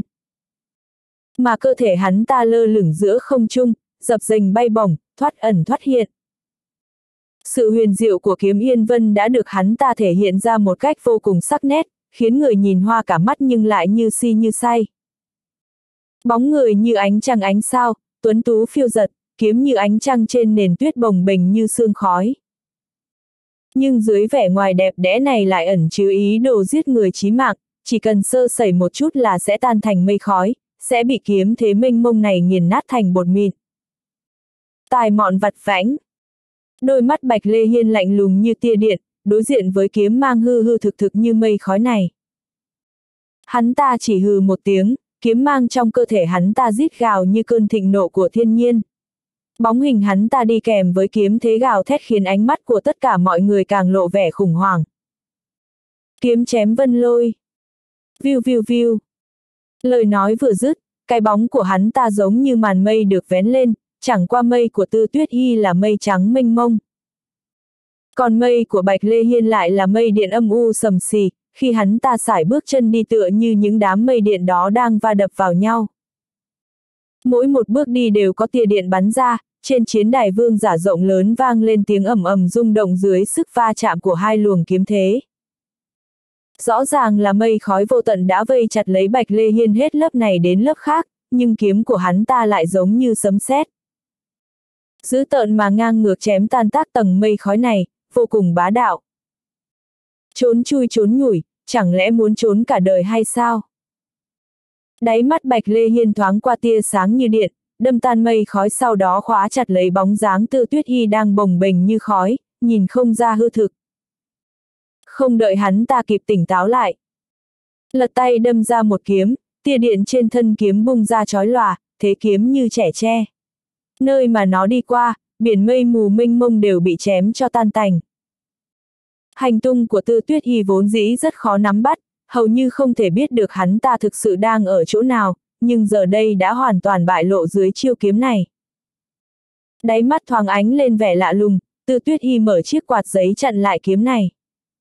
Keng! chương 1471, người có cơ hội tế ra võ hồn. Trong âm thanh vang vọng, chân nguyên sấm sét giạt rào trong kiếm mang ngay lập tức đánh bay tư tuyết y ra ngoài. Cơn giận của Vân Long. Khi tư tuyết y bị đánh bay, đáy mắt hắn ta lóe lên, vùng mạnh chiếc quạt. Rào. Mây mù cuồn cuộn bốn phía lập tức tụ lại hóa thành hình dáng một con rồng cuộn tròn trên chiến đài vương giả. Chiếc quạt trong lại gập mạnh lại, con rồng kia gầm lên, điên cuồng lao thẳng về phía Bạch Lê Hiên với cơ thể chứa đầy kiếm thế vô hạn. Đến hay lắm. Bạch Lê Hiên cười hờ hứng, hai ngón tay trái kẹp lại vuốt dọc thân kiếm, tàng long trong kiếm. Trong thoáng chốc, kiếm thế mây điện khắp bốn phương đồng thời ngưng tụ thành cái bóng của một con rồng. Hơn nữa đường nét của con rồng mây này lại càng rõ ràng hơn, như thể nhìn rõ được cả vảy rồng móng rồng. Growl. Tiếng rồng ngâm đồng thời vang lên, con rồng bằng mây điện và con rồng bằng mây khói lao đầu vào nhau trên khu bình địa trống trải. Dầm, dầm, dầm, dầm. Những tiếng nổ rung trời vang lên không ngớt trên chiến đài vương giả. Dư âm truyền ra, chân nguyên nát vụn, kiếm mang tung hoành đã tạo nên một cảnh tượng vô cùng khủng khiếp. Sức mạnh thật ghê gớm. Hai người này không hổ là những nhân tài mới nổi xuất sắc nhất của đế quốc Đại Tần, đến tranh giành vị trí thứ ba này quả thực là xứng đáng. Không sai, Vân Chân và Tần Vũ dù gì cũng là những kẻ mạnh từ rất lâu rồi, tuổi tác cũng lớn hơn hai người này rất nhiều. Hai người kia đi tranh vị trí đầu bảng cũng coi như trong dự đoán, hai nhân tài mới nổi này có thể đánh giết được đến bước này cũng coi như khiến mọi người mở mang tầm mắt trong khóa long môn tranh tài lần này. Nhìn cuộc chiến kịch liệt của hai người trên chiến đài vương giả, mọi người bên dưới đài ai nấy đều trào dâng sóng lòng. Giác. Một hồi sau, thắng bại sau một chiêu này đã dần được phân rõ, vậy mà con rồng mây điện của Bạch Lê Hiên lại chiếm ưu thế hơn một chút. Sau khi đánh tan con rồng được ngưng tụ từ mây khói, uy thế còn sót lại tiếp tục đánh thẳng về phía tư tuyết y. Mặt tư tuyết y thoáng biến sắc, nhấc tay vung lên một trường đón đầu đập tan lôi long đã mất đi quá nửa uy lực. Đến đây thôi, thiên lôi phá. Lại là chiêu kiếm này, trước đó tam ấn trùng điệp của Vân chân cũng không thể chống đỡ lại một kiếm này. Kiếm như thiên lôi xé rách bầu trời, nhanh đến mức khiến mắt thường khó mà nhìn rõ được nó làm thế nào để đánh nát hết tất cả dư âm còn sót lại trên chiến đài vương giả. Lôi long vừa mới bị đánh nát, tư tuyết y còn chưa kịp có phản ứng thì đã ngẩn ra nhìn một kiếm này đang không ngừng phóng to ra trước mắt mình. Kiếm, rơi lên vị trí mi tâm giữa hai đầu mày rồi ngừng lại, chưa hề gây ra bất cứ thương tổn nào. Sắc mặt tư tuyết y tái mét, một hồi sau mới cười khổ nói ta thua rồi.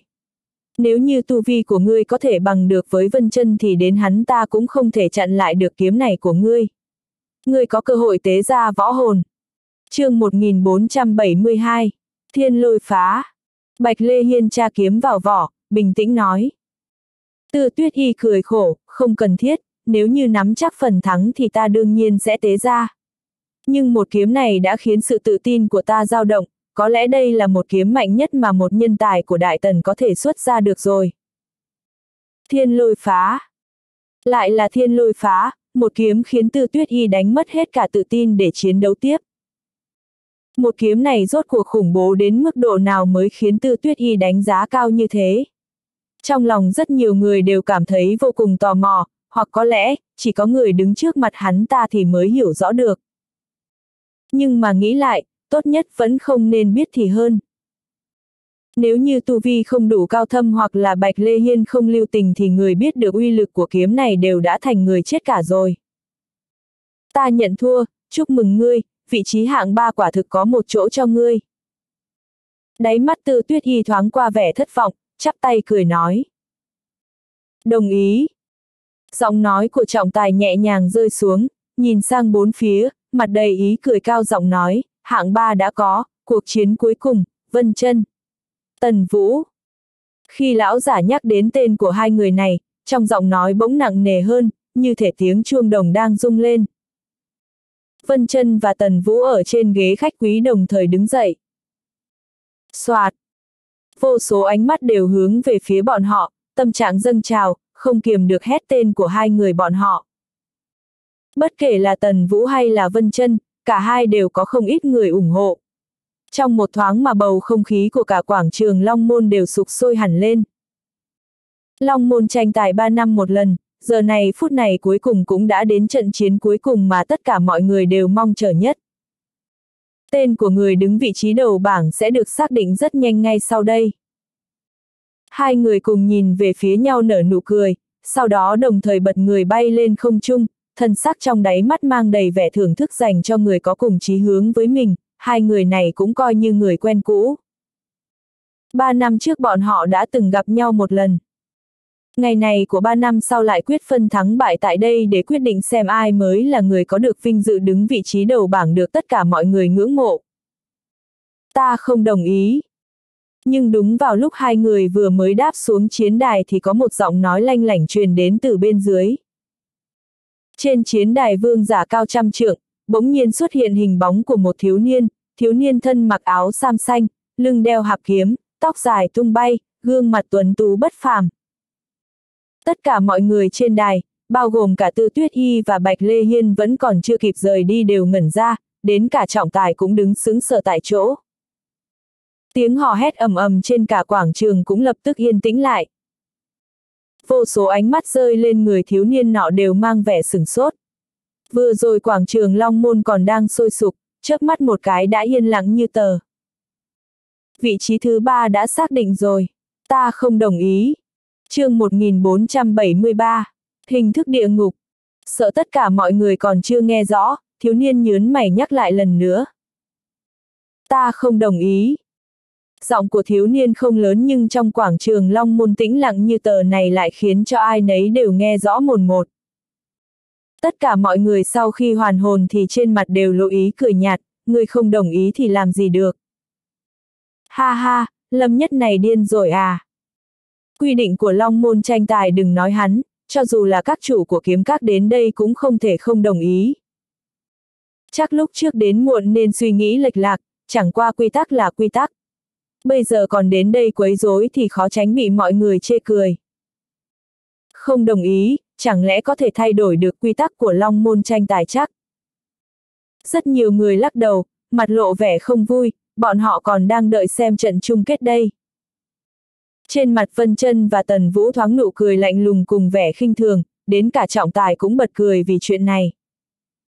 Cười, có gì đáng cười, long môn tranh tài các khóa không phải vẫn luôn dùng hình thức địa ngục sao? Ta giành được phần thắng trong tổ của kẻ bại, chẳng lẽ không có quyền được lựa chọn hình thức địa ngục sao? Mặt thiếu niên lạnh tanh, nhìn chằm chằm trọng tài, lạnh lùng nói. Hình thức địa ngục. Oanh! Đám người đang cười cợt bỗng im bặt, ngay sau đó trong đầu nổ ầm một tiếng. Trên chiến đài vương giả, từ tuyết y, bạch lê hiên, vân chân và tần vũ đều biến sắc, ánh mắt đồng thời hướng về phía lâm nhất. Đến cả tần vương đang ngồi trên ngai vàng tử thanh cũng giật giật mí mắt. Trong hàng ghế khách quý, những trái tim trong lồng ngực của rất nhiều tông môn cũng đồng thời nhảy lên thình thịch. Hình thức địa ngục này có hơi điên cuồng, tức là phải đánh luân phiên, lần lượt hạ gục từng người trong bốn người đứng đầu, mà hơn nữa còn không được nghỉ giữa chừng. Một khi thất bại sẽ phải đối diện với sự trừng phạt tàn khốc là hủy bỏ tư cách công tử, sẽ mất hết tất cả. Trong lịch sử từng có người dám khởi động hình thức địa ngục chưa? Có. Từng có người nào chiến thắng trong hình thức địa ngục không? Không. Không chỉ là không có, mà người khởi động hình thức địa ngục này đều chẳng có ai có kết cục tử tế. 8 phần 10 là chết vô cùng thảm thiết trong trận chiến luân phiên. Cho dù có may mắn sống sót thì cũng mất đi tư cách công tử. Đã rất lâu rất lâu rồi chưa từng có người lựa chọn khởi động hình thức địa ngục này, đã bao lâu rồi?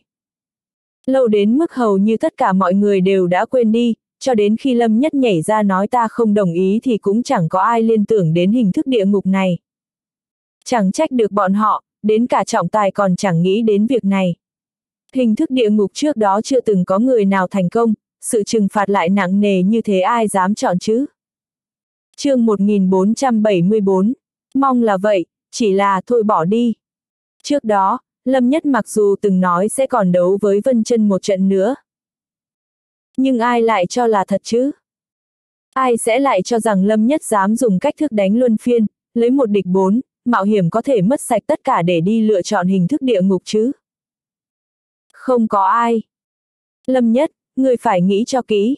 Hình thức địa ngục một khi lựa chọn thì sẽ không thể quay đầu nữa, phải liền một lúc đánh bại bốn người mới được coi là chiến thắng, một khi bị thua thì ngươi sẽ mất đi danh hiệu công tử. Vẻ mặt trọng tài nghiêm trọng, trầm giọng hỏi. Ta đã quyết định. Lâm Nhất bình tĩnh nói.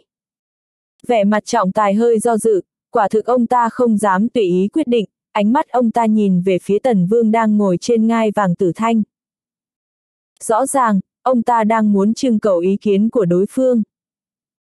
Tần vương bật cười nói, thú vị, nếu như hắn đã không trân trọng danh hiệu công tử vậy thì hà tất phải níu giữ, bổn vương không có ý kiến. Tần vương bệ hạ, lão phu có lời muốn nói. Lạc phong trưởng lão vội vàng đi đến, trầm giọng nói, có thể cho ta nói thay lâm nhất vài câu được không? Ha ha, có gì phải nói chứ? Văn ngạn bác cười âm hiểm nói, tên kiếm nô này đã nói hắn không đồng ý rồi, trưởng lão như ngươi còn định quyết định hộ người ta hay sao? Lời đã nói ra, tứ mã nan truy, chúng ta đây đang ngóng chờ đệ tử của quý tông sáng tạo ra kỳ tích đó. Không sai, tự hắn đưa ra lựa chọn hình thức luyện ngục, trọng tài đồng ý rồi, tần vương bệ hạ cũng đồng ý rồi. Đâu có đến lượt ông đứng ra nói chuyện. Nguyên ấn trưởng lão dẫn đoàn của huyền thiên tông giả vờ tươi cười nói. Nói đúng lắm, huống hồ ông làm sao biết được lâm nhất chắc chắn không thể tạo ra kỳ tích chứ. Lạc lão quỷ, ông vẫn nên có chút tự tin với đệ tử nhà mình đi. Những tông môn khác thấy tình hình như vậy cũng lần lượt cất lời chế giễu. Cơ hội thế này làm sao mà bọn họ có thể bỏ qua được, một khi lâm nhất thất bại. Không phải một khi mà là chắc chắn.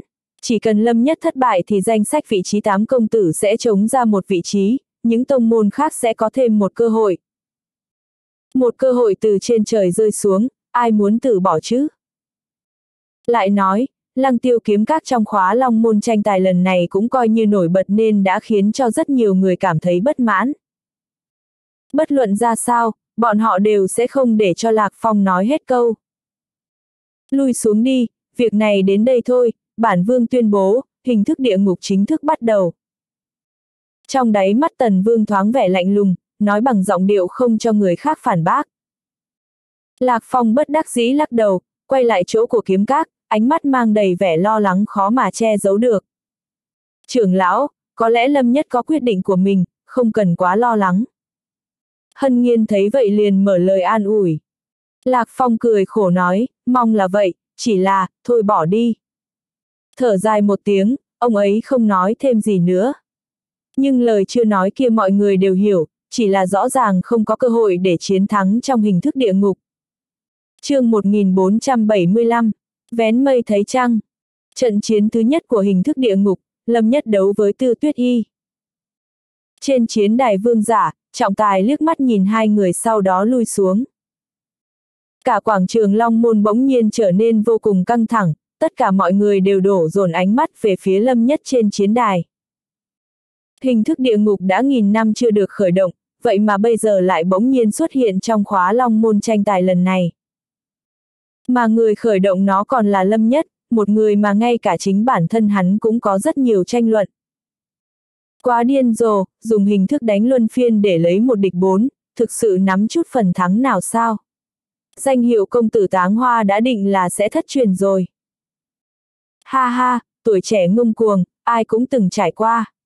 Nhưng lựa chọn hình thức địa ngục thì không phải là ngông cuồng của tuổi trẻ nữa rồi, mà là vô tri. Nếu như hắn thất bại ngay trận đầu thì mới thú vị, ha ha. Khó nói, cuộc chiến vừa rồi Tư Tuyết Hy và Bạch Lê Hiên đều ngang tài ngang sức, gần như chỉ kém một chút xíu, thực lực của bọn họ mạnh hơn công tử nham tâm kia rất nhiều. Không có ai tin rằng Lâm Nhất sẽ chiến thắng, có rất nhiều người thậm chí còn cảm thấy Lâm Nhất chẳng thể chiến thắng được cả Tư Tuyết Y. Mặc dù ta rất bội phục dũng khí của ngươi, nhưng hôm nay ta đã liên tiếp thua hai trận rồi, thực sự không muốn phải thua thêm nữa. Cho nên, cuộc chiến này ta sẽ dốc hết toàn lực, không cho ngươi có chút cơ hội nào đâu. Vẻ mặt tư tuyết hy đầy nghiêm túc, ánh mắt lạnh lẽo nhìn thẳng về phía đối phương. Đối mặt với Tần Vũ, hắn ta chủ động nhận thua, cuộc chiến với Bạch Lê Hiên khiến hắn đánh mất vị trí hạng ba. Mặc dù thua tâm phục khẩu phục nhưng đối với tính cách kiêu ngạo của hắn mà nói quả thực là sỉ nhục. Nếu như lại thua bởi lâm nhất nữa thì chẳng khác nào là nỗi nhục ngàn đời. Ánh mắt hướng về phía lâm nhất, kiếm thế trên người ảo ạt tuôn ra, đáy mắt sáng lấp lánh giống như một thanh kiếm sắc bén đâm qua. Tư tuyết y quả thực không muốn thua nữa rồi, trận chiến này rất có thể hắn ta sẽ tế ra võ hồn, rất nhiều người thầm nghĩ trong lòng, trận chiến này mà thua nữa thì đúng mà mất sạch cả thể diện rồi. View Không đợi quá lâu, giây phút khi kiếm thế vọt lên đến đỉnh phong, tư tuyết hy tay nắm quạt giấy, luồng kiếm mang trắng muốt như tuyết từ trên trời giáng xuống, chém về phía lâm nhất. Sắc mặt lâm nhất không hề thay đổi, âm thầm thi triển thất huyền bộ, kiếm này lướt qua người hắn. Kinh phong quét lên người hắn, lâm nhất lại ung dung bước thêm một bước. Hừ. Tư tuyết y hừ một tiếng, chiếc quạt trong tay mở ra, đuổi theo sát lâm nhất, gương mặt hắn ta lạnh lẽo như băng. Cổ tay của hắn không ngừng xoay chuyển, chiếc quạt hết đóng lại mở, kiếm quang bập bềnh lên xuống, bài thơ viết trên mặt chiếc quạt như có ánh sáng đang lóe lên, tạo ra một dòng sông kiếm mang tung hoành giao nhau. Dòng sông sao động, sóng lớn rồn rập, kiếm mang có ở khắp mọi nơi.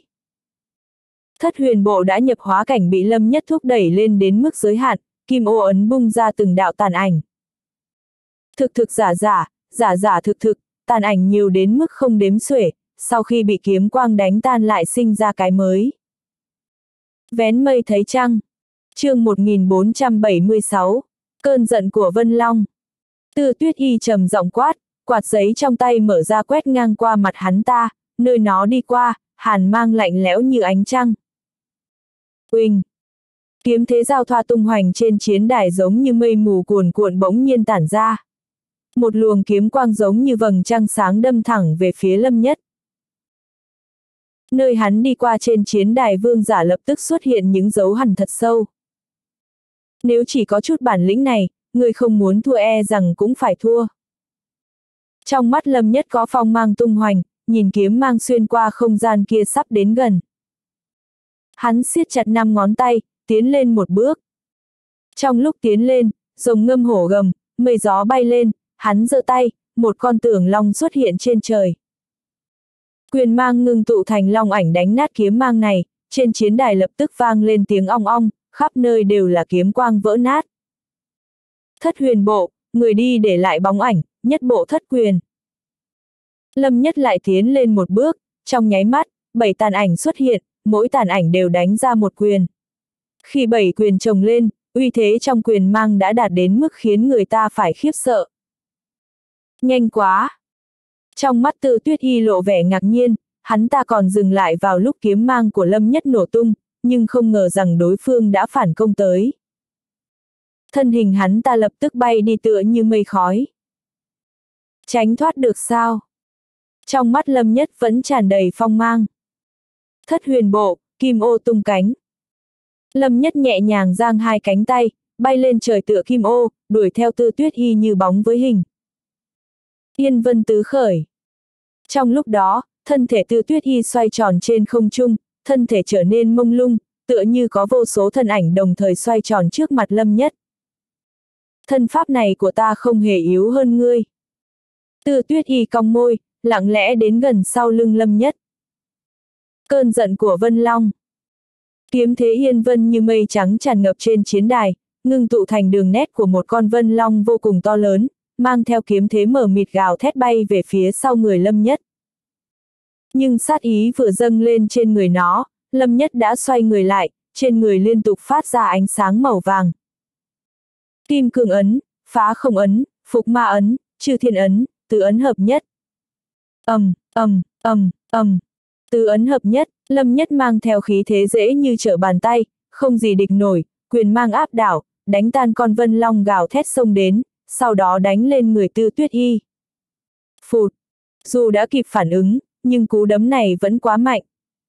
chương 1477, không thể không nói là có hơi thê thảm.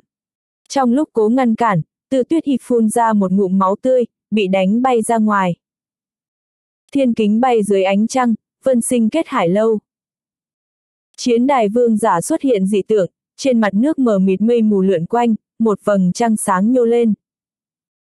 Võ hồn Tư tuyết y sử dụng võ hồn khiến người xem dưới chiến đài xôn xao, trước đó khi hắn ta đại chiến với công tử Trường Cát, võ hồn này đã để lại ấn tượng sâu sắc cho mọi người. Lấy danh nghĩa của kiếm, ta lệnh cho hoa nở.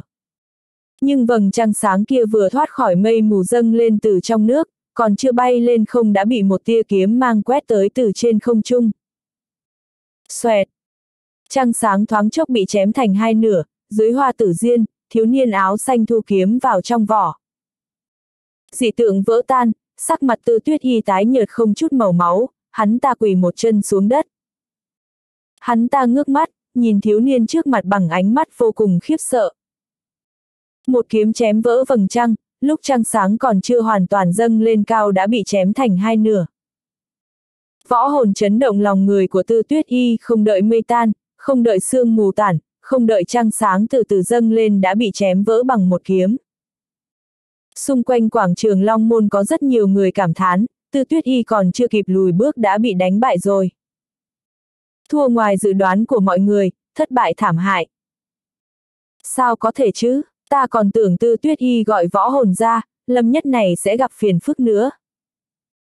Quá nhanh, ta đoán chắc tư tuyết y không ngờ sẽ có chiêu kiếm đó. Chắc chắn không ngờ tới, nếu không hắn cũng sẽ không khiếp sợ như thế, nhìn ánh mắt của hắn chứng tỏ đến bây giờ vẫn không thể tin được. E rằng Lâm Nhất đã sớm đoán được hắn ta muốn gọi võ hồn rồi, nên vẫn luôn đợi hắn ta. Đáng sợ, cả quá trình áp đảo tư tuyết y, hoàn toàn không cho hắn chút cơ hội nào, Lâm Nhất này mạnh thật đấy. Vốn tưởng rằng đánh một trận với công tử nham tâm đã đủ nhìn thấu thực lực của hắn rồi, nhưng bây giờ mọi người lại phải suy đoán một lần nữa. Thắng rồi. Người của lăng tiêu kiếm các tỉnh lại từ trong nỗi khiếp sợ, trên mặt đều hiện lên ý cười. Cho dù thế nào, ít nhất lâm nhất không yếu thế trong chiến đài đầu tiên.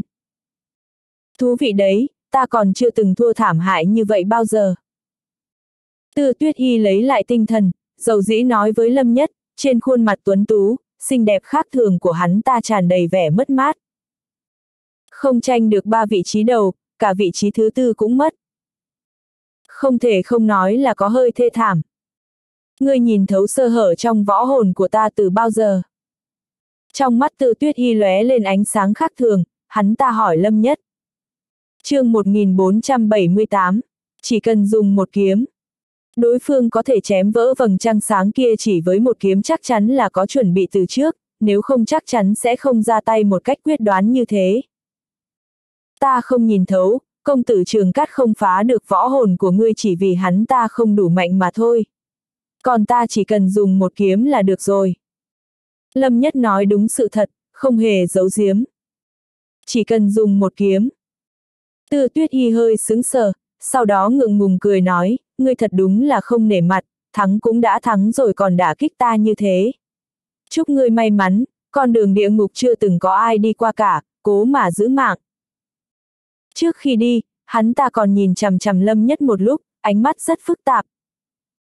Theo quy định, người có thời gian một chén trà để nghỉ ngơi, sau đó, chiến đài tiếp theo sẽ bắt đầu. Trọng tài nhìn về phía lâm nhất, trầm giọng nói. Một chén trà, thời gian quá ngắn, gần như không kịp nghỉ xả hơi. Lâm nhất bình tĩnh nói, không cần, bắt đầu đi.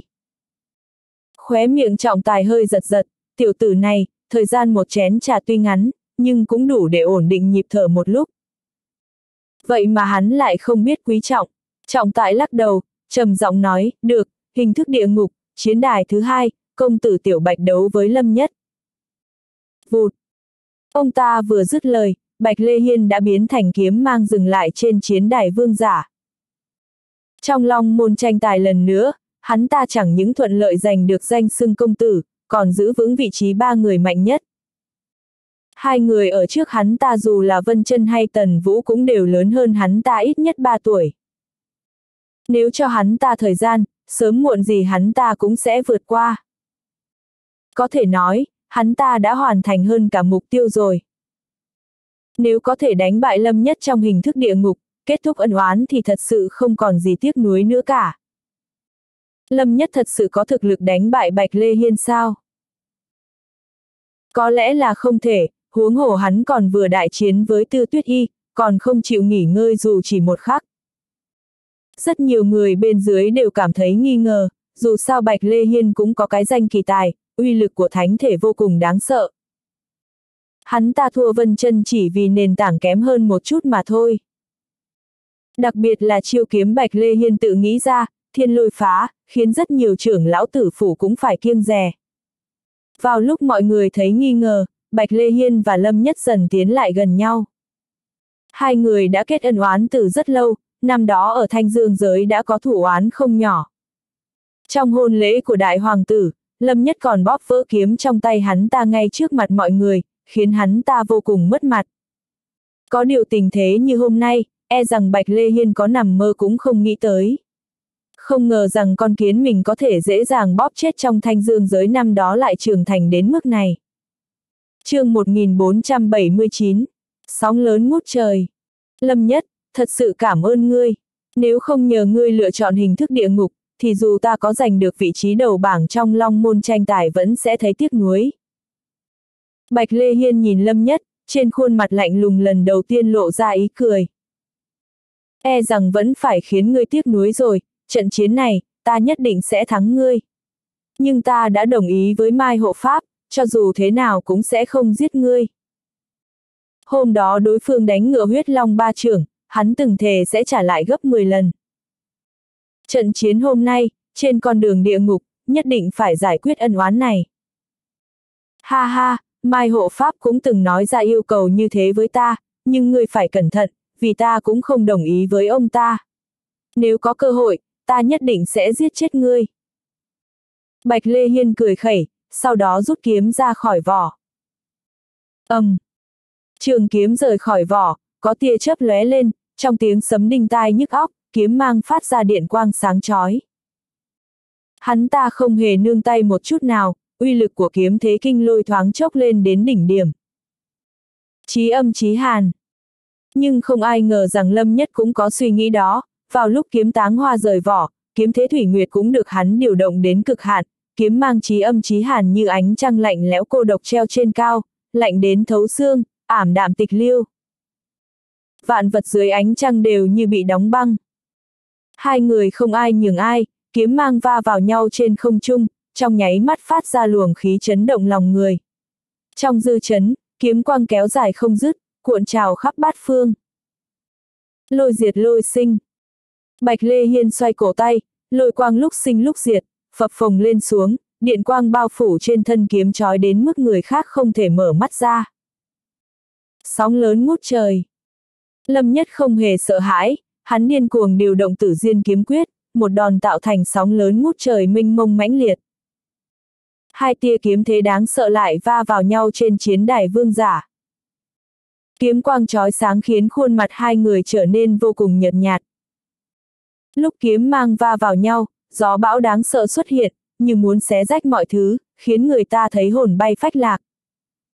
Hai người đều là kỳ tài kiếm đạo, cùng xuất thân từ một tông, đối kháng hùng hổ như vậy khiến trận chiến thoáng chốc trở nên vô cùng kịch liệt.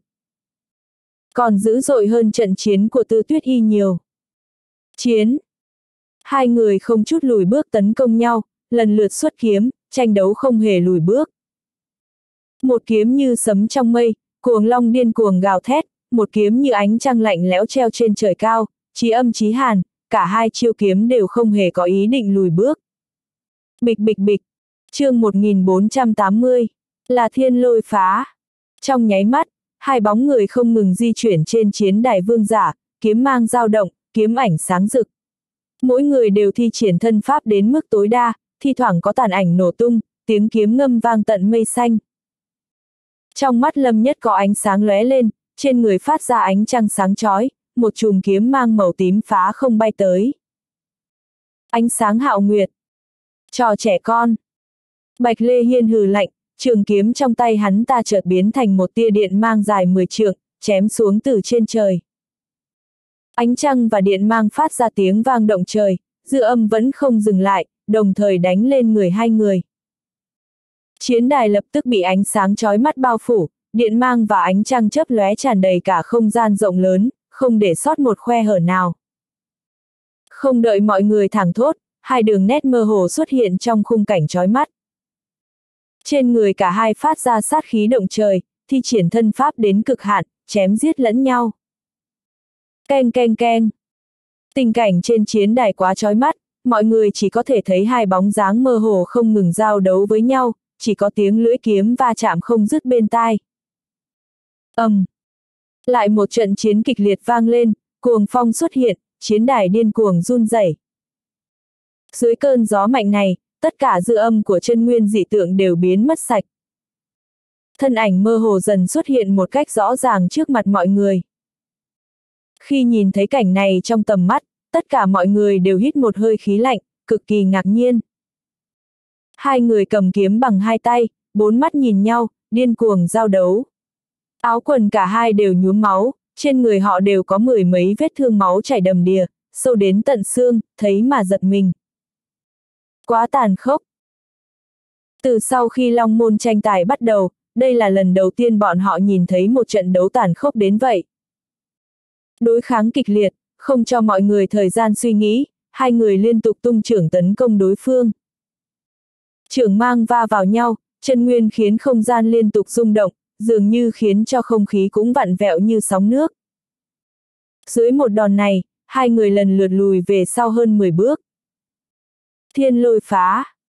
Mũi chân vừa mới chạm đất, trong mắt Bạch Lê Hiên có hàn mang lóe lên, sát chiêu thành danh của hắn ta trong long môn tranh tài lại được sử dụng một lần nữa. Lôi quang lóe lên, dưới mây đen cuồn cuộn, bầu trời thoáng chốc trở nên vô cùng tối tăm.